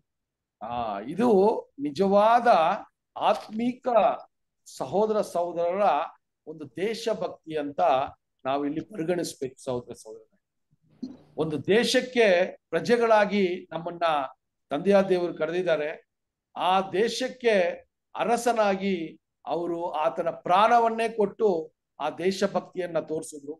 ಹಂಗಿರುವಾಗ ಆ ಒಂದು ಪ್ರಜೆಗಳಾಗಿರುವ ನಾವು ನಮ್ಮ ಜೊತೆಯಲ್ಲಿರುವ ಸಹೋದರ ಸಹೋದರರಿಗೆ ನಮ್ಮ ದೇಶಭಕ್ತಿಯನ್ನ ತೋರಿಸ್ಬೇಕು ಅಂದ್ರೆ ನಾವು ಯಾವುದೇ ರೀತಿಯ ಸ್ವಾರ್ಥತೆಯ ಜೀವನ ಮಾಡದೆ ನಾವು ದೇವರಿಗೆ ಯಥಾರ್ಥ ಮನಸ್ಸಿನಿಂದ ಸಹೋದರ ಸಹೋದರನ್ನ ಬಲಪಡಿಸಿ ಆ ಒಂದು ರಕ್ಷಣೆಯ ಮಾರ್ಗದಲ್ಲಿ ನಾವು ನಡೆಸೋದಿಕ್ಕೆ ನಮ್ಮ ಕೈಯಲ್ಲಿ ತಂದೆಯ ದೇವರು ಏನು ಒಂದು, ಆ, ಶಕ್ತಿಯನ್ನ ಕೊಟ್ಟಿದಾರೋ ಅದನ್ನ ನಾವು ಅಲ್ಲಿ ಏನ್ ಮಾಡ್ಬೇಕ್ಲಿ ಅದನ್ನ ನಾವು ಯೂಸ್ ಮಾಡ್ಲೇಬೇಕು ಸಹೋದರ ಸಹೋದರ ಸೊ ಆ ರೀತಿಯ ವಿಚಾರಗಳನ್ನ ನೋಡ್ಬೇಕಾದ್ರೆ ನಮ್ಮಲ್ಲಿ ಪರಿಶುದ್ಧವಾದ ವಾದಂತ ಒಂದು ಏನಿರ್ಬೇಕು ಸೀಲ್ ಇರ್ಬೇಕು ನಮ್ಗೆ.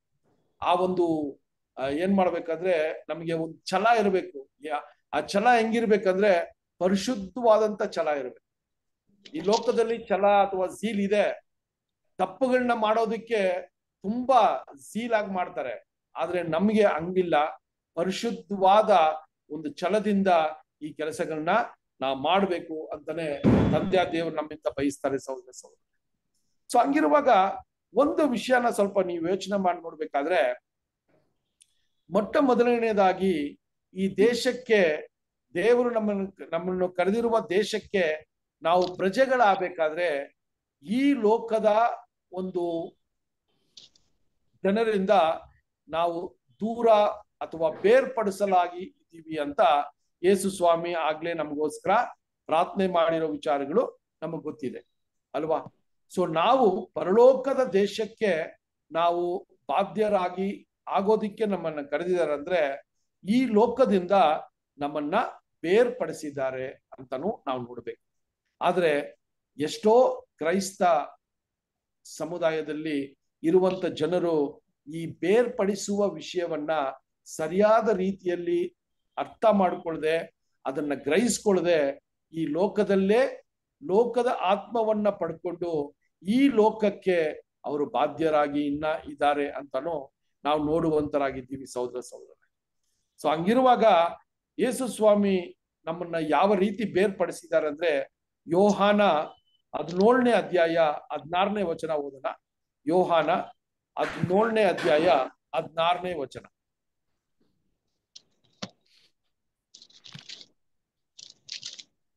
ನಾನು ಲೋಕದವನಲ್ಲದೆ ಇರುವ ಪ್ರಕಾರ ಇವರು ಲೋಕದವರಲ್ಲ.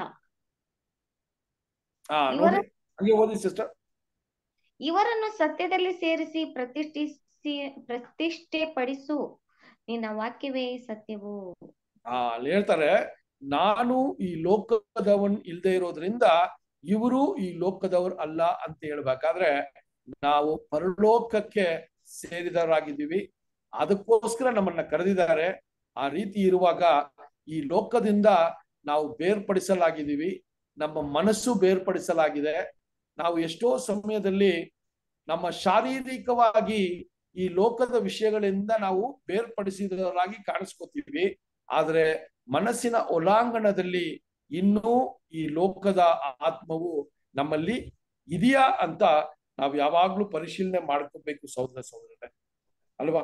ಸೊ ಇದು ತುಂಬಾ ಮುಖ್ಯವಾಗಿದೆ. ಯಾಕಂದ್ರೆ ಒಬ್ಬ ವ್ಯಕ್ತಿ ದೇವರು ಕೊಟ್ಟಿರುವ ದೇಶಕ್ಕೆ ಅವನು ಬಾಧ್ಯರಾಗಿ ಅಥವಾ ಆ ಒಂದು ದೇಶಕ್ಕೆ ಪ್ರಜೆ ಆಗ್ಬೇಕಾದ್ರೆ ಈ ಲೋಕದ ವಿಚಾರಗಳನ್ನ ಬಿಟ್ಟು ಹೋದ್ರೆ ಮಾತ್ರ ಆ ದೇಶಕ್ಕೆ ಒಂದು ಒಳ್ಳೆಯ ಪ್ರಜೆಯಾಗಿ ಆಗಿರ್ಬೋದು.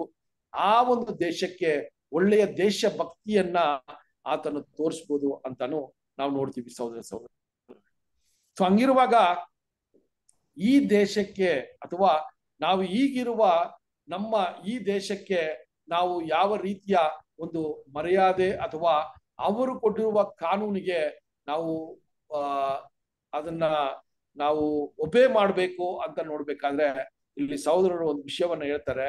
ಯಾನ ಏನಂದ್ರೆ ಈ ಲೋಕದ ಈ ಒಂದು ಭೂಮಿಯ ನಿವಾಸಿಗಳಾಗಿ ನಾವು ಇರಬೇಕು. ಆದ್ರೆ ಈ ಒಂದು ಲೋಕದ ಸಿಟಿಸನ್ ಆಗಿ ನಾವು ಇಲ್ಲ. ನಾವು ಪರದೇಶಿಯ ಒಂದು ಜನರಾಗಿ ಇಲ್ಲಿ ಕಾಣಲ್ಪಡಬೇಕು ಅಂತ ಹೇಳ್ತಾರೆ. ಇಂಗ್ಲಿಷ್ ಅಲ್ಲಿ ಏಲಿಯನ್ಸ್ ಅಂತಾರೆ.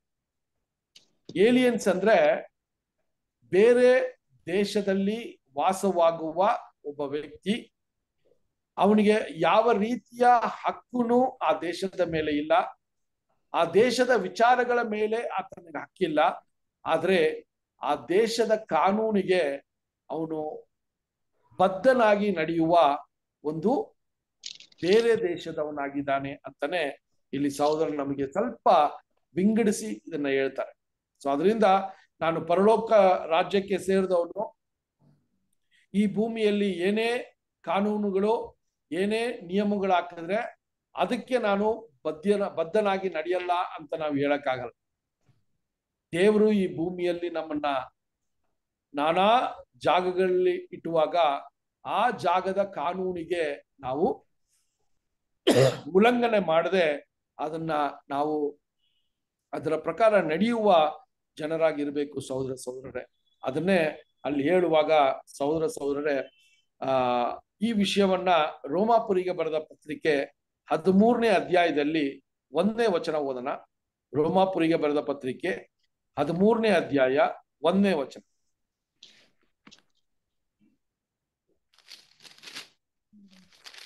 ಪ್ರತಿ ಮನುಷ್ಯನು ತನ್ನ ಮೇಲಿರುವ ಅಧಿಕಾರಿ, ಅಧಿಕಾರಿಗಳಿಗೆ ಅಧೀನನಾಗಿರಲಿ. ಯಾಕಂದರೆ ದೇವರಿಂದ ಹೊರತು ಒಬ್ಬರಿಗೂ ಅಧಿಕಾರವಿರುವುದಿಲ್ಲ. ಆ, ನೋಡ್ರಿ, ಇಲ್ಲಿ ಏನಕ್ಕೆ ಅಪೋಸಲ್ ಪೌಲ್ ಇದು ಹೇಳ್ತಾರಂದ್ರೆ ಆ ಒಂದು ಕಾಲ ಸಮಯದಲ್ಲಿ ಆ ರೋಮಾಪುರಿಯ ಆ ಒಂದು ರೋಮನ್ಸ್ ಅಥವಾ ರೋಮಾಪುರಿಯ ರಾಜರಿಗೆ ಅಲ್ಲಿ ಅಧೀನರಾಗಿರ್ಬೇಕು ಅಂತ ಅಲ್ಲಿ ಹೇಳ್ತಾರೆ. ಅಲ್ಲಿ ಹೇಳುವಾಗ, ನಿಮ್ಮ ಮೇಲಿರುವ ನಿಮ್ಮನ್ನ ಆಳ್ವಿಕೆ ಮಾಡೋರಿಕ್ಕೆ ನೀವು ಅಧೀನರಾಗಿರ್ಬೇಕು ಅಂತ ಹೇಳ್ತಾರೆ. ಯಾಕೆ ಅಂದ್ರೆ ಯಾವ ರಾಜ್ಯ ಬಾರುವ, ಮಾಡುವ ವ್ಯಕ್ತಿಯು ದೇವರಿಂದ ಆ ಒಂದು ಕರೆ, ಆ ಒಂದು ವಿಷಯ ನಡೀದೇ ಇದ್ರೆ ಅದು ಅವನು ಆ ಒಂದು ರಾಜ್ಯಭಾರವನ್ನ ಮಾಡೋದಕ್ಕಾಗಲ್ಲ ಅಂತ ಹೇಳುವಾಗ ಎಲ್ಲಾ ವಿಷಯವನ್ನ ದೇವರು ಆತನ ಒಂದು ಆತನ ಒಂದು ಯೋಜನೆಯಲ್ಲಿ ಇದೆಲ್ಲ ನಡೀಲೇಬೇಕು. ಅದರಿಂದ ನೀವು ಎಲ್ಲಿದ್ದೀರೋ ಆ ಒಂದು ಜನಕ್ಕೆ ನೀವು ಬದ್ಧರಾಗಿರ್ರಿ ಅಂತ ಹೇಳ್ತಾರೆ. ಅದೇ ಏಳು, ಎಂಟನೇ ವಚನ ಓದಿ ಅದರಲ್ಲೇ ರೋಮಾಪುರಿಗೆ ಬರೆದ ಪತ್ರಿಕೆ, ಹದಿಮೂರನೇ ಅಧ್ಯಾಯ, ಏಳು, ಎಂಟು ವಚನಗಳು. ಅವರವರಿಗೆ ಸಲ್ಲಿಸ, ಸಲ್ಲತಕ್ಕದ್ದನ್ನು ಸಲ್ಲಿಸಿರಿ. ಯಾರಿಗೆ ಕಂದಾಯವೋ ಅವರಿಗೆ ಕಂದಾಯವನ್ನು, ಯಾರಿಗೆ ಸುಂಕವೋ ಅವರಿಗೆ ಸುಂಕವನ್ನು, ಯಾರಿಗೆ ಭಯವೋ, ಅವರಿಗೆ ಭಯವನ್ನು, ಯಾರಿಗೆ ಮರ್ಯಾದೆಯೋ, ಅವರಿಗೆ ಮರ್ಯಾದೆಯನ್ನು ಸಲ್ಲಿಸಿರಿ. ಆ, ನೋಡ್ರಿ, ಇದೆಲ್ಲ ಅಪೋಸಲ್ ಹೇಳುವಾಗ ನಾವು ನೋಡಿದ್ವಿ, ನಮ್ಮ ಒಂದು ದೇಶವು ಪರಲೋಕವಾಗಿದೆ. ಆ ಪರಲೋಕದ ಪ್ರಜೆಗಳಾಗಿ ನಾವು ಈಗ ದೇವರಿಂದ ಒಂದು ಅನುಮತಿನ ಪಡೆದು, ಆ ಪರಲೋಕದ ದೇಶದ, ಪರಲೋಕ ಎನ್ನುವ ದೇಶಕ್ಕೆ ನಾವು ಪ್ರಜೆಗಳಾಗಿ ನಮ್ಮನ್ನ ಸಿದ್ಧತೆ ಮಾಡ್ಕೋತಾ ಇದೀವಿ ಹಂಗಿರುವಾಗ ಆ ದೇಶಕ್ಕೆ ಇರುವಂತ ದೇಶ ಭಕ್ತಿ ನಮ್ಮಲ್ಲಿ ಎಷ್ಟಿದೆ? ಸೊ ಆ ದೇಶ ಭಕ್ತಿಯನ್ನ ತೋರಿಸುವ ನೆಪದಲ್ಲಿ ಈ ದೇಶದಲ್ಲಿ ಇರುವ ನಾವು ಈ ಪರ ಈ ಭೂಲೋಕದಲ್ಲಿ ನಾವು ಇರುವಂತ ಜಾಗಗಳಲ್ಲಿ ನಮಗೆ ನಮ್ಮನ್ನ ಆಳ್ವಿಕೆ ಮಾಡೋರಿಗೆ ನಾವು ಯಾವ ರೀತಿಯ ಪ್ರತಿಕ್ರಿಯೆಗಳನ್ನ ತೋರಿಸ್ಬೇಕು ಅಂತ ಇಲ್ಲಿ ತುಂಬಾ ಸಿಂಪಲ್ ಆಗಿ ಹೇಳ್ತಾರೆ. ಸೊ ಅದಕ್ಕೆ ಅಲ್ಲಿ ಹೇಳ್ತಾರೆ ಇಂಗ್ಲಿಷ್ ಅಲ್ಲಿ ನೋಡ್ಬೇಕಾದ್ರೆ we should be law abiding aliens ಅಂತ. ಆ ದೇಶದ ಆ ಪ್ರಾಂತ್ಯಕ್ಕೆ ಇರುವಂತ ಕಾನೂನನ್ನ ನಾವು ಉಲ್ಲಂಘನೆ ಮಾಡದೇ ಇರುವಂತ ಅನ್ಯರಾಗಿ ನಾವಿರಬೇಕು ಅಂತ ಇಲ್ಲಿ ಹೇಳ್ತಾರೆ. ಸಹೋದರ ಸಹೋದರರೇ. ಸೊ ಹಂಗಿರುವಾಗ ಈ ವಿಷಯಗಳನ್ನ ನೋಡುವಾಗ ಕೊನೆಯದಾಗಿ ಸಹೋದರರು ಏನಂತಾರೆ ಅಂದ್ರೆ ಈ ಒಂದು ರಾಜ್ಯಗಳು ಈಗ ಯಾವ ರೀತಿ ಸ್ಥಾಪನೆ ಆಗಿದೆಯೋ ಇದೆಲ್ಲಾನು ದೇವರ ಚಿತ್ತಕ್ಕೆ ಅನುಗುಣವಾಗಿ ನಡೀತಾ ಇದೆ. ದೇವರು ಅನುಮತಿ ಮಾಡಿದ್ದಾರೆ ಈ ರಾಜ್ಯದಲ್ಲಿ. ಯಾರು ರಾಜ್ಯ, ರಾಜ್ಯಭಾರ ಮಾಡಬೇಕು ಅಂತ ಅವರು ನಿರ್ಧಾರ ಮಾಡ್ತಾರೆ ಅಂತ ನೋಡ್ತೀವಿ. ಹಂಗಿರುವಾಗ ಬರುವಂತ ಯುಗ ಯಾವ ರೀತಿ ತಂದೆಯ ದೇವರು ನಿರ್ಮಾಣ ಮಾಡ್ತಾರೆ ಅಂತ ಹೇಳುವಾಗ ಅಲ್ಲಿ ಹೇಳ್ತಾರೆ, ಈ ಭೂಲೋಕದಲ್ಲಿ ಎಂತ ವಿಧ ಎಂಥ ವಿಧವಾದ ಒಂದು ರಾಜ್ಯಭಾರಗಳಿದ್ರು ಕ್ರಿಸ್ತನು ರಾಜ್ಯಭಾರವನ್ನ ಹೊಂದುವ ತನಕ ಎಲ್ಲ ರಾಜ್ಯಗಳು ದೇವರ ಚಿತ್ತದ ಅನುಗುಣವಾಗಿ ಸಂಪೂರ್ಣವಾಗಿ ಇರಲ್ಲ ಅಂತ ಹೇಳ್ತಾರೆ. ಯಾವ ರೀತಿ ದಾವೀದನು ಒಂದು ಛಾಯೆಯಾಗಿ ಆ ದಾವೀದನ ರಾಜ್ಯವನ್ನ ಅವನು ಆಳ್ವಿಕೆ ಮಾಡ್ತಾನೋ ಆ ರೀತಿಯಲ್ಲಿ ಸಹೋದರ ಸಹೋದರರೇ ಕ್ರಿಸ್ತನ ರಾಜ್ಯದಲ್ಲಿ ಕ್ರಿಸ್ತನು ಆಳ್ವಿಕೆಯನ್ನ ಮಾಡೋದಕ್ಕೆ ಅವ್ರು ಪ್ರಾರಂಭ ಮಾಡಿರುವಾಗ ಆ ರಾಜ್ಯವು ಎಲ್ಲಿದೆ ಅಂತ ಹೇಳ್ಬೇಕಾದ್ರೆ ನಮ್ಮ ಹೃದಯಗಳಲ್ಲಿ ಮೊಟ್ಟ ಮೊದಲನೆಯದಾಗಿ ಅದು ಪ್ರಾರಂಭವಾಗತ್ತೆ ಅಂತ ಹೇಳ್ತಾರೆ. ಅಲ್ವಾ? ಸೊ ಆ ಒಂದು ದೇವರ, ಆ ಒಂದು ರಾಜ್ಯಕ್ಕೆ ನಾವು ಬಾಧ್ಯರಾಗಿ ಇರುವ ವಿಷಯ ಈ ಆಚೆ ತೋರುವಿಕೆಗೆ ಎಲ್ಲೂ ನಮಗೆ ಕಾಣಲ್ಲ, ಆ ರಾಜ್ಯವೂ ಕಾಣಲ್ಲ ಆ ರಾಜ್ಯದ ಪ್ರಜೆಗಳು ಯಾರೂ ಕಾಣಲ್ಲ, ಆ ರಾಜ್ಯದ ಕಾನೂನು ಏನು ಅಂತ ಗೊತ್ತಾಗಲ್ಲ ಜನಕ್ಕೆ. ಆದರೆ ಎಲ್ಲಾನು ದೇವರ ಚಿತ್ತದ ಅನುಸಾರವಾಗಿ ಈ ರಾಜ್ಯ ಹೆಂಗೆ ಕ್ರಿಸ್ತನಿಂದ ಸ್ಥಾಪನೆ ಆಯ್ತು ಅಂತ ಗೊತ್ತು, ಆ ರಾಜ್ಯದ ಕಾನೂನು ಏನು ಅಂತ ಗೊತ್ತು, ಆ ರಾಜ್ಯ ರಾಜ್ಯದ ಪ್ರಜೆಗಳಾಗಿ ನಮ್ಮನ್ನ ತಯಾರಿ ಮಾಡ್ತಾ ಇದ್ದಾರೆ ಅಂತ ಗೊತ್ತು. ಇದೆಲ್ಲಾನು ಎಲ್ಲಿ ಪ್ರಾರಂಭ ಆಯ್ತು ಅಂತ ನೋಡ್ಬೇಕಾದ್ರೆ ಸಹೋದರ ಸಹೋದರನೇ ನಮ್ಮ ಹೃದಯದಲ್ಲಿ ದೇವರ ರಾಜ್ಯ ಪ್ರಾರಂಭವಾಗಿರೋದನ್ನ ನಾವು ಏನ್ ಮಾಡ್ಬೇಕ್ರಿ? ನಾವು ನಿರ್ದ, ನಾವು ಸ್ಪಷ್ಟಪಡಿಸ್ಕೋಬೇಕು. ಆವಾಗ್ಲೇ ಆ ದೇಶಕ್ಕೆ ಒಂದು ಒಳ್ಳೆಯ ದೇಶಭಕ್ತಿಯನ್ನ ತೋರಿಸುವ ವ್ಯಕ್ತಿಗಳಾಗಿ ನಾವು ಮಾರ್ಪಡೆ ಆಗ್ತೀವಿ ಸಹೋದರ ಸಹೋದರ ಸೊ ಹಂಗಿರುವಾಗ ನಾವೇನು ಇನ್ನೊಂದು ವಿಷಯವನ್ನ ನೋಡ್ತೀವಿ ಅಂದ್ರೆ ಈ ಲೋಕದ ರಾಜ್ಯದ ಒಂದು ವಿಷಯಗಳನ್ನ ನಾವು ಹೆಂಗೆ ಅರ್ಥ ಮಾಡ್ಕೋಬಹುದು ಅಂದ್ರೆ, ಬಿದ್ದಿರುವ ಸ್ವಭಾವದ ಮನುಷ್ಯರು ಈ ಲೋಕವನ್ನ ಆಳ್ವಿಕೆ ಮಾಡ್ತಾ ಇದ್ದಾರೆ ಅಂತ ನೋಡ್ತೀವಿ. ಅಲ್ಲಿ ನೀತಿ ವಾಸ ಆಗಿಲ್ಲ. ಅಲ್ಲಿ ಸ್ವಾರ್ಥತೆ ಹೆಚ್ಚಾಗಿದೆ. ಅಲ್ಲಿ ದೌರ್ಜನ್ಯಗಳು ಜಾಸ್ತಿ ಇದೆ. ಅಲ್ಲಿ ಹಗೆತನವೂ ಜಾಸ್ತಿ ಇದೆ. ಒಂದು ದೇಶ ಇನ್ನೊಂದು ದೇಶದ ಮೇಲೆ ಅಲ್ಲಿ ದಾಳಿ ಮಾಡುವ ವಿಷಯಗಳನ್ನ ನೋಡ್ತೀವಿ. ಅಲ್ಲಿ ಬಲಿಷ್ಠ, ಬಲಿಷ್ಠನಾಗಿರೋನು ಬಲಹೀನನನ್ನ ಅವನು ಯಾವಾಗ್ಲೂ ಅವನು ದೌರ್ಬಲ್ಯದಿಂದ ಅಥವಾ ಅವನು ಆ ದೌರ್ಜನ್ಯದಿಂದ ನಡೆಸುವ ವಿಷಯಗಳನ್ನ ನೋಡ್ತೀವಿ. ಆದರೆ ದೇವರ ರಾಜ್ಯವನ್ನ ನಾವು ಹೂಡಿಕೆ ಮಾಡುವಾಗ ಸಹೋದರ ಸಹೋದರರೇ, ಅದು ತುಂಬಾ ವ್ಯತ್ಯಾಸದ ಒಂದು ದೇಶವಾಗಿರ್ತದೆ. ಅಲ್ವಾ? ಆ ದೇಶದ ಆಳ್ವಿಕೆ, ಆ ದೇಶದ ನಿಯಮಗಳು ಸಂಪೂರ್ಣವಾಗಿ ನೂತನವಾಗಿರ್ತದೆ.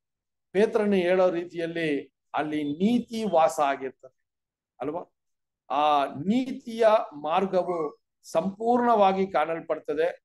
ಅದು ಮಾತ್ರವಲ್ಲ, ಸಹೋದರ ಸಹೋದರರೇ, ಅಲ್ಲಿ ದೇವರ ಜನರು ಯಾವ ರೀತಿಯ ಒಂದು ವಿಷಯವನ್ನ ಅಲ್ಲಿ ನಡೆಸ್ತಾರ ಅಂತಲೂ ನಾವು ನೋಡ್ಬೇಕು ಸಹೋದರ ಸಹೋದರ. ಸೊ ಈ ರೀತಿಯ ವಿಷಯಗಳನ್ನ ನೋಡುವಾಗ ನಾವು ಕ್ರಿಸ್ತನ ಹೆಜ್ಜೆ ಜಾಡಲ್ಲಿ ನಡೆಯುವಾಗ ಈ ರಾಜ್ಯ, ರಾಜ್ಯಕ್ಕೆ ಪ್ರಜೆಗಳಾಗಿ ಆಗುವ ಒಂದು ಅವಕಾಶವನ್ನ ಕೊಟ್ಟು ನಾವದನ್ನ ಸ್ವೀಕಾರ ಮಾಡಿ ಆ ರಾಜ್ಯಕ್ಕೆ ಸಂಪೂರ್ಣವಾದ ಪ್ರಜೆ ಆಗ್ತೀನಂತ ದೀಕ್ಷಾ ಸ್ಥಾನದ ಮೂಲಕ ನಾವು ದೇವರಿಗೆ ಒಂದು ಒಪ್ಪಂದ ಮಾಡಿಕೊಂಡಿದ್ದೀವಿ. ಆ ಒಪ್ಪಂದದಲ್ಲಿ ನಾವು ನಡೆಯುವಾಗ ಸಹೋದರ ಸಹೋದರರೇ, ಅನೇಕ ಜನರು ನಮ್ಮನ್ನ ದ್ವೇಷಿಸ್ತಾರೆ. ಅನೇಕ ಜನರು ನಮ್ಮನ್ನ ಸರಿಯಾಗಿ ಅರ್ಥ ಮಾಡಿಕೊಳ್ಳಲ್ಲ. ಅನೇಕ ಜನರು ನಮ್ಮನ್ನ ತಪ್ಪರ್ಥ ಮಾಡಿ ನಮ್ಮನ್ನ ಹಿಂಸೆಗೆ ಒಳಪಡಿಸ್ತಾರೆ. ಇದೆಲ್ಲಾನೇ ಈ ರಾಜ್ಯಕ್ಕೆ ಪ್ರಜೆಯಾಗಿರುವ ನಾವು ಹೋಗುವಂತ ಒಂದು ದಾರಿಯಾಗಿದೆ. ಆದರೆ ಸತ್ಯವೇದದಲ್ಲಿ ದೇವರು ನಮಗೆ ಏನು ಒಂದು ಆಶ್ವಾಸನೆಯನ್ನ ಕೊಟ್ಟಿದ್ದಾರೆ ಅಂದ್ರೆ ಈ ಲೋಕದಲ್ಲಿ ನಿಮಗೆ ಕಷ್ಟಗಳುಂಟು. ಆ ಕಷ್ಟಗಳಿಂದಾನೆ ನೀವು ಆ ದೇಶದ ಸರಿಯಾದ ಮತ್ತು ಪರಿಪೂರ್ಣವಾದ ಪ್ರಜೆಗಳಾಗೋದಿಕ್ಕೆ ಸಾಧ್ಯ ಅಂತ ಅಲ್ಲಿ ನಮ್ಗೆ ಆಗ್ಲೇ ನಮ್ಗೆ ಎಚ್ಚರಿಕೆಯ ಮಾತುಗಳನ್ನ ಕೊಟ್ಟಿದ್ದಾರೆ. ಅದರಿಂದ ಈ ದೇಶದ ಮಕ್ಕಳಾಗಿರುವ ಪ್ರಜೆಗಳೇ ಆಗಬೇಕು ಅಂತ ನಮಗೆ ನಾನಾ ಅನುಭವಗಳನ್ನ ಕರ, ಅನುಭವದಲ್ಲಿ ಕರ್ಕೊಂಡು ಹೋಗ್ತಾರೆ. ನಮ್ಮನ್ನ ನಾನಾ ಸಂಕಷ್ಟಕ್ಕೆ ಅವರು ನಮಗೆ ಆ ಒಂದು ಸಂಕಷ್ಟದಲ್ಲಿ ನಾವು ಪ್ರವೇಶಿಸೋದಕ್ಕೆ ಒಂದು ಆಶೀರ್ವಾದವನ್ನ ಕೊಡ್ತಾರೆ. ಇದೆಲ್ಲ ಏನಕ್ಕೆ ಅಂದ್ರೆ, ಆ ಪ್ರಜೆಗಳಾಗಬೇಕಾದ್ರೆ ನಮ್ಮಲ್ಲಿ ಶುದ್ಧೀಕರಣ ತುಂಬಾ ಮುಖ್ಯ. ಈ ಒಂದು ಒಂದು ಉದಾಹರಣೆಗೆ ತಗೊಂಡ್ರೆ, ಈ ಇಂಡಿಯಾದಲ್ಲಿ ಪ್ರಜೆ ಆಗ್ಬೇಕು ಅಂತ ನೋಡ್ಬೇಕಾದ್ರೆ ಸಹೋದರ ಸಹೋದರಿಗೆ ಅದಕ್ಕೆ ಆದಂತ ಒಂದು ಕಾನೂನಿದೆ, ಅದಕ್ಕೆ ಆದಂತ ಒಂದಷ್ಟು ಕೆಲಸಗಳಿದೆ. ಇದೆಲ್ಲ ನಾವು ಮಾಡಿದಾಗ ನಾವು ಈ ಒಂದು ಪ್ರಾಂತ್ಯಕ್ಕೆ ಅಥವಾ ಈ ಒಂದು ದೇಶಕ್ಕೆ ಪ್ರಜೆ ಆಗಿರ್ತೀವಿ. ಅದೇ ರೀತಿಯಲ್ಲಿ ಪರಲೋಕ ರಾಜ್ಯಕ್ಕೆ ಪ್ರಜೆಯಾಗಿ ನಾವು ನಮಗೆ ಒಂದು ಆಹ್ವಾನ ಕೊಟ್ಟಿದ್ದಾರೆ. ಆ ಆಹ್ವಾನವನ್ನ ನಾವು ಸ್ವೀಕಾರ ಮಾಡಿದ ನಂತರ ಆ ದೇಶದ ಪ್ರಜೆಯಾಗಿ ಆ ದೇಶಭಕ್ತಿಯನ್ನ ನಾವು ಸಾಯೋ ತನಕ ಆ ದೇಶಭಕ್ತಿಯನ್ನ ತೋರ್ಸೋರಾಗಿರ್ಬೇಕು.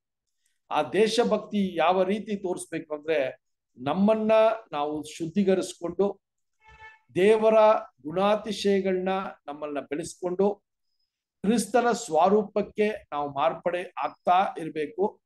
ಅದರ ಜೊತೆ ನಮ್ಮ ಸಹ ಸಹೋದರ ಸಹೋದರಿಯರಿಗೂ ನಾವು ಆ ದೇಶಭಕ್ತಿಯನ್ನ ಅವರಲ್ಲಿ ಹುಟ್ಟಿಸ್ಬೇಕು.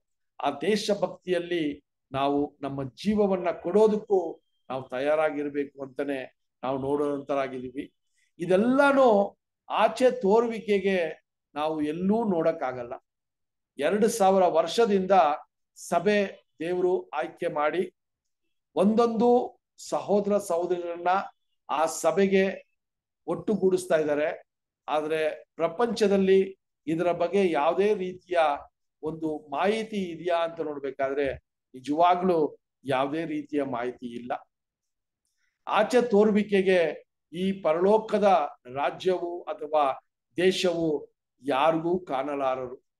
ಆದರೆ ಆ ಪ್ರಜೆಯಾಗಿ ಕರೆಯಲ್ಪಟ್ಟಿರುವ ನನಗೆ ಆ ದೇಶದ ನಿಯಮ ಗೊತ್ತು, ಆ ದೇಶದ ಅರಸನು ಯಾರು ಅಂತ ಗೊತ್ತು, ಆ ದೇಶವು ಯಾವ ರೀತಿ ಒಂದು ಉನ್ನತವಾದ ಒಂದು ಸ್ಥಾನಕ್ಕೆ ಬರ್ತದೆ ಅಂತ ಗೊತ್ತು.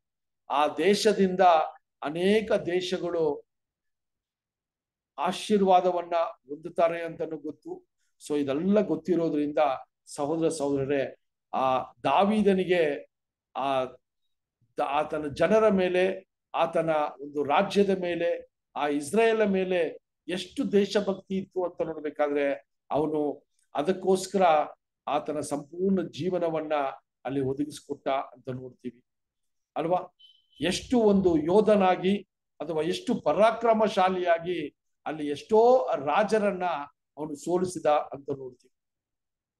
ಅದೆಲ್ಲಾನು ಆ ದೇಶದ ಮೇಲೆ ಆತನಿಗಿದ್ದ ಒಂದು ದೇಶಭಕ್ತಿ.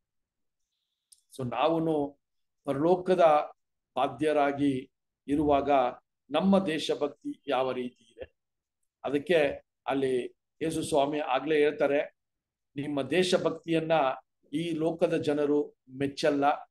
ಈ ದೋ, ಈ ದೇಶದ ಜನರು ಅದಕ್ಕೆ ಯಾವುದೇ ರೀತಿಯ ಒಂದು ಸಂತ್ವಾನವನ್ನ ಮಾಡಲ್ಲ, ಯಾವುದೇ ರೀತಿಯ ಒಂದು ಒಳ್ಳೆಯ ಮಾತನ್ನ ಹೇಳಲ್ಲ. ಬದಲಾಗಿ ನಮ್ಮನ್ನ ಸ್ವೀಕಾರ ಮಾಡಲ್ಲ, ನಮ್ಮನ್ನ ಅವರು ಹಾಗೆ ಮಾಡ್ತಾರೆ. ನಾವು ಮಾಡುವಂತ ವಿಷಯಗಳ ಮೇಲೆ ಅವರಿಗೆ ಇನ್ನ ಅತಿ ಹೆಚ್ಚಾದ ಕೋಪನೇ ಇರ್ತದೆ ಅಂತ ನಾವು ನೋಡ್ತೀವಿ. ಅದಕ್ಕೆ ಯೇಸು ಸ್ವಾಮಿ ಹೇಳುವ ಮಾತುಗಳನ್ನ ಓದೋಣ. ಯೋಹನ ಹದಿನೈದನೇ ಅಧ್ಯಾಯ ಹದಿನೆಂಟರಿಂದ ಇಪ್ಪತ್ತು ವಚನಗಳು. ಯೋಹಾನ ಹದಿನೈದನೇ ಅಧ್ಯಾಯ ಹದಿನೆಂಟರಿಂದ ಇಪ್ಪತ್ತು ವಚನಗಳು.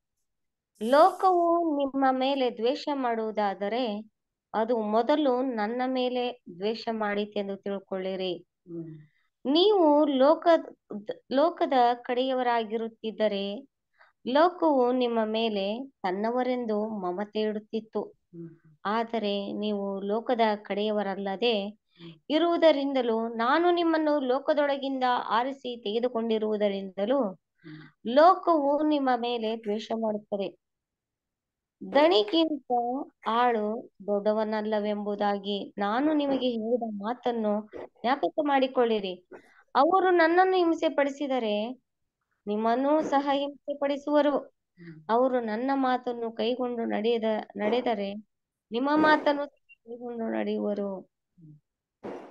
ನೋಡಿ, ಎಂತ ವಚನಗಳು ನೋಡ್ತಾರೆ ಅಂದ್ರೆ ಯಾವ ರೀತಿ ಆ ಪರಲೋಕದ ದೇಶದ ಅರಸನಾಗಿರುವ ಕ್ರಿಸ್ತನು ನಮಗೆ ಈ ಸಲಹೆಯನ್ನ ಕೊಡ್ತಾರೆ. ಲೋಕವು ನೀವು ಲೋಕವರು ಆಗದೆ ಇರೋದ್ರಿಂದ ನಿಮ್ಮನ್ನ ಲೋಕ ಹಾಗೆ ಮಾಡ್ತದೆ. ಒಂದು ವೇಳೆ ನೀವು ಲೋಕದವರಾಗಿದ್ರೆ ನಿಮ್ಮ ಮೇಲೆ ಲೋಕವು ಮಮತೆ ತೋರ್ಸದೆ ಅಂತ ಹೇಳ್ತಾರೆ. ಸೊ ಅದರಿಂದ ನಾವು ಈ ರಾಜ್ಯದ ಪ್ರಜೆಗಳಾಗಿ ನಮ್ಮನ್ನೇ ನಾವು ತಯಾರಿಸಿಕೊಳ್ಳುವಾಗ ನಾವು ಆ ಲೋಕದ ನಿಯಮ ಆ ಲೋಕದ ಸಂತೋಷ, ಆ ಲೋಕದ ನೀತಿಯನ್ನ ನಮ್ಮ ಜೀವನದಲ್ಲಿ ನಾವು ಅಳು, ಅಳವಡಿಸ್ಕೊಂಡ್ರೆ ಮಾತ್ರ ಸಹೋದರ ಸಹೋದರರೇ, ನಾವು ಆ ಲೋಕಕ್ಕೆ ಪ್ರಜೆಗಳಾಗಿ, ನಾವು ಆಗಿ ಆ ದೇಶದಿಂದ ಅನೇಕ ದೇಶಕ್ಕೆ ಆಶೀರ್ವಾದವನ್ನ ತರುವ ಒಂದು ಜನರಾಗಿ ನಾವು ಕಾಣಲ್ಪಡ್ತೀವಿ ಸಹೋದರ ಸಹೋದರರೇ. ಸೊ ಅದರಿಂದ ಸಿಂಪಲ್ ಒಂದೇ ನಾವು ಈ ದಾವಿದನ ಈ ಪಾಠದಲ್ಲಿ ನಾವು ಏನ್ ನೋಡ್ತೀವಿ ಅಂದ್ರೆ, ದಾವಿದನು ಯಾವ ರೀತಿ ರಾಜ್ಯಭಾರವನ್ನ ಹೊಂದದ? ಆತನ ಯಾವುದೇ ಬಲಶಕ್ತಿ, ಆತನ ಯಾವುದೇ ಒಂದು ಅರ್ಜೆಂಟ್ ಆಗಿ ಅಥವಾ ಆತನು ಎಷ್ಟು ತಾಳ್ಮೆಯನ್ನ ಕಾದು ಕಾದು ಕಾಪಾಡಿಕೊಂಡ ಅಂತ ನೋಡ್ಬೇಕಾದ್ರೆ, ದೇವರ ಒಂದು ಕೆಲಸಕ್ಕೋಸ್ಕರ, ದೇವರ ಒಂದು ನಡುವಿಗೆಗೋಸ್ಕರ ಆತನು ಸಂಪೂರ್ಣವಾಗಿ ಅಲ್ಲಿ ಕಾದಿರುವ ಒಂದು ವ್ಯಕ್ತಿಯಾಗಿದ್ದ ಅಂತ ನಾವು ನೋಡ್ತೀವಿ. ಇದು ತುಂಬಾ ಮುಖ್ಯವಾದ ವಿಷಯ. ಹಂಗಿರುವಾಗ ರಾಜ್ಯನಾಗಿ ಆತನು ಮೊಟ್ಟ ಮೊದಲನೆಯದಾಗಿ ಮಾಡಿದ್ವಿ ಏನಂದ್ರೆ ಆತನ ರಾಜಧಾನಿಯನ್ನ ಸ್ಥಾಪನೆ ಮಾಡ್ಕೊಂಡ. ಆ ರಾಜಧಾನಿಯನ್ನ ಅವನು ಸ್ಥಾಪನೆ ಮಾಡ್ಕೊಳ್ಳೋದಕ್ಕೆ ಯಾವ ರೀತಿಯ ಒಂದು ವಿಷಯಗಳನ್ನ ಆತನು ಮಾಡಿ ಆ ರಾಜಧಾನಿಯನ್ನ ಉಳಿಸ್ಕೊಂಡ ಅಂತ ನೋಡ್ತೀವಿ. ಆ ರಾಜಧಾನಿಯನ್ನ ಉಳಿಸ್ಕೊಂಡ ನಂತರ ಇಸ್ರೇಲ್ ಜನಾಂಗವನ್ನ ಹನ್ನೆರಡು ಕೋತ್ರಗಳನ್ನ ಯಾವ ರೀತಿ ಒಟ್ಟುಗೂಡಿಸಿ ಅವನು ರಾಜ್ಯಭಾರ ಮಾಡಿ ಎಲ್ರೂ ಆ ದೇವರ ಒಂದು ಭಯದಲ್ಲಿ ನಡೆಸುವ ಒಂದು ವ್ಯಕ್ತಿಯಾಗಿ ದೇವರ ಆಲಯಕ್ಕೆ ಬೇಕಾಗಿರುವಂತ ಎಲ್ಲಾ ಸೌಲಭ್ಯಗಳನ್ನ ಅಥವಾ ಎಲ್ಲಾ ವಸ್ತುಗಳನ್ನ ರೆಡಿ ಮಾಡಿ ದೇವರ ಆಜ್ಞಾಪಿಸಿದ ತರ ಆತನು ದೇವಾಲಯವನ್ನ ಕಟ್ಟದೆ. ಆತನ ಮಗನ ಮೂಲಕ ತಂದೆಯ ದೇವರು ದೇವಾಲಯವನ್ನ ಕಟ್ಟಿಸ್ಕೊಂಡ್ರು ಅಂತ ನಾವು ನೋಡ್ತೀವಿ. ಇದೆಲ್ಲಾನು ನಾವು ನೋಡುವಾಗ ಸಹೋದರ ಸಹೋದರರೇ, ಯೇಸು ಕ್ರಿಸ್ತನು ಪರಲೋಕ ರಾಜ್ಯದ ಅರಸನಾಗಿ ನಾವು ಸ್ವೀಕಾರ ಮಾಡಿ ನಾವು ಆ ಆ ಒಂದು ದೇಶದ ಪ್ರಜೆಗಳಾಗಿ ನಾವು ಇರ್ತೀವಿ ಅಂತ ನಾವು ದೀಕ್ಷಾ ಸ್ಥಾನದ ಮೂಲಕ ನಮ್ಮನ್ನ ಸಮರ್ಪಣೆ ಮಾಡ್ಕೊಂಡಿದೀವಿ. ಮಾಡ್ಕೊಂಡಿರೋ ನಂತರ ಆ ಲೋಕದ ನಿಯಮ, ಆ ಲೋಕದ ನೀತಿ, ಆ ಲೋಕದ ಎಲ್ಲ ವಿಧವಾದ ಕಾನೂನಿಗೆ ನಾವು ಬದ್ಧರಾಗಿರಬೇಕು. ಆ ಕಾನೂನು ದೇವರಿಂದ, ಆತನ ವಚನದಿಂದ ನಮಗೆ ಕೊಡುವಂತ ಕಾನೂನಾಗಿದೆ. ಅದರಿಂದ ಇದಕ್ಕೆ ನಾವು ಎಷ್ಟು ಪ್ರಾಮುಖ್ಯತವನ್ನ ಕೊಡ್ತೀವಿ, ಎಷ್ಟು ದೇಶಭಕ್ತಿಯನ್ನ ತೋರಿಸ್ತೀವಿ, ಆ ದೇಶಭಕ್ತಿ ನಾವು ಒಬ್ಬೊಬ್ಬರು ಅನ್ಯೋನ್ಯತೆಯಿಂದ ಯಾವುದೇ ವಿಧವಾದ ಒಂದು ಹಗೆತನಾನೋ, ಹೆಮ್ಮೆನೋ ಹೊಟ್ಟೆ ಕಿಚ್ಚೋ ಇಲ್ಲದೆ ಈ ದೇಶದಲ್ಲಿ ಒಟ್ಟಾಗಿ ಯಾವುದೇ ರೀತಿಯ ಒಂದು ಪಂಗಡಗಳು ಅಥವಾ ಒಂದು ಬೇರ್ ಭಿನ್ನಭಿಪ್ರಾಯ ಇಲ್ಲದೆ ಇರುವಂತ ಒಂದು ಮಕ್ಕಳಾಗಿ ನಾವು ಇರಬೇಕು ಅಂತಾನೆ ನಮ್ಮ ಒಂದು ಗುರಿಯಾಗಿರ್ಬೇಕು. ಸೈತಾನನು ನಾನಾ ರೀತಿಯ ಒಂದು ವಿಷಯಗಳನ್ನ ನಮ್ಮಲ್ಲಿ ತಂದು, ತರ್ತಾನೆ.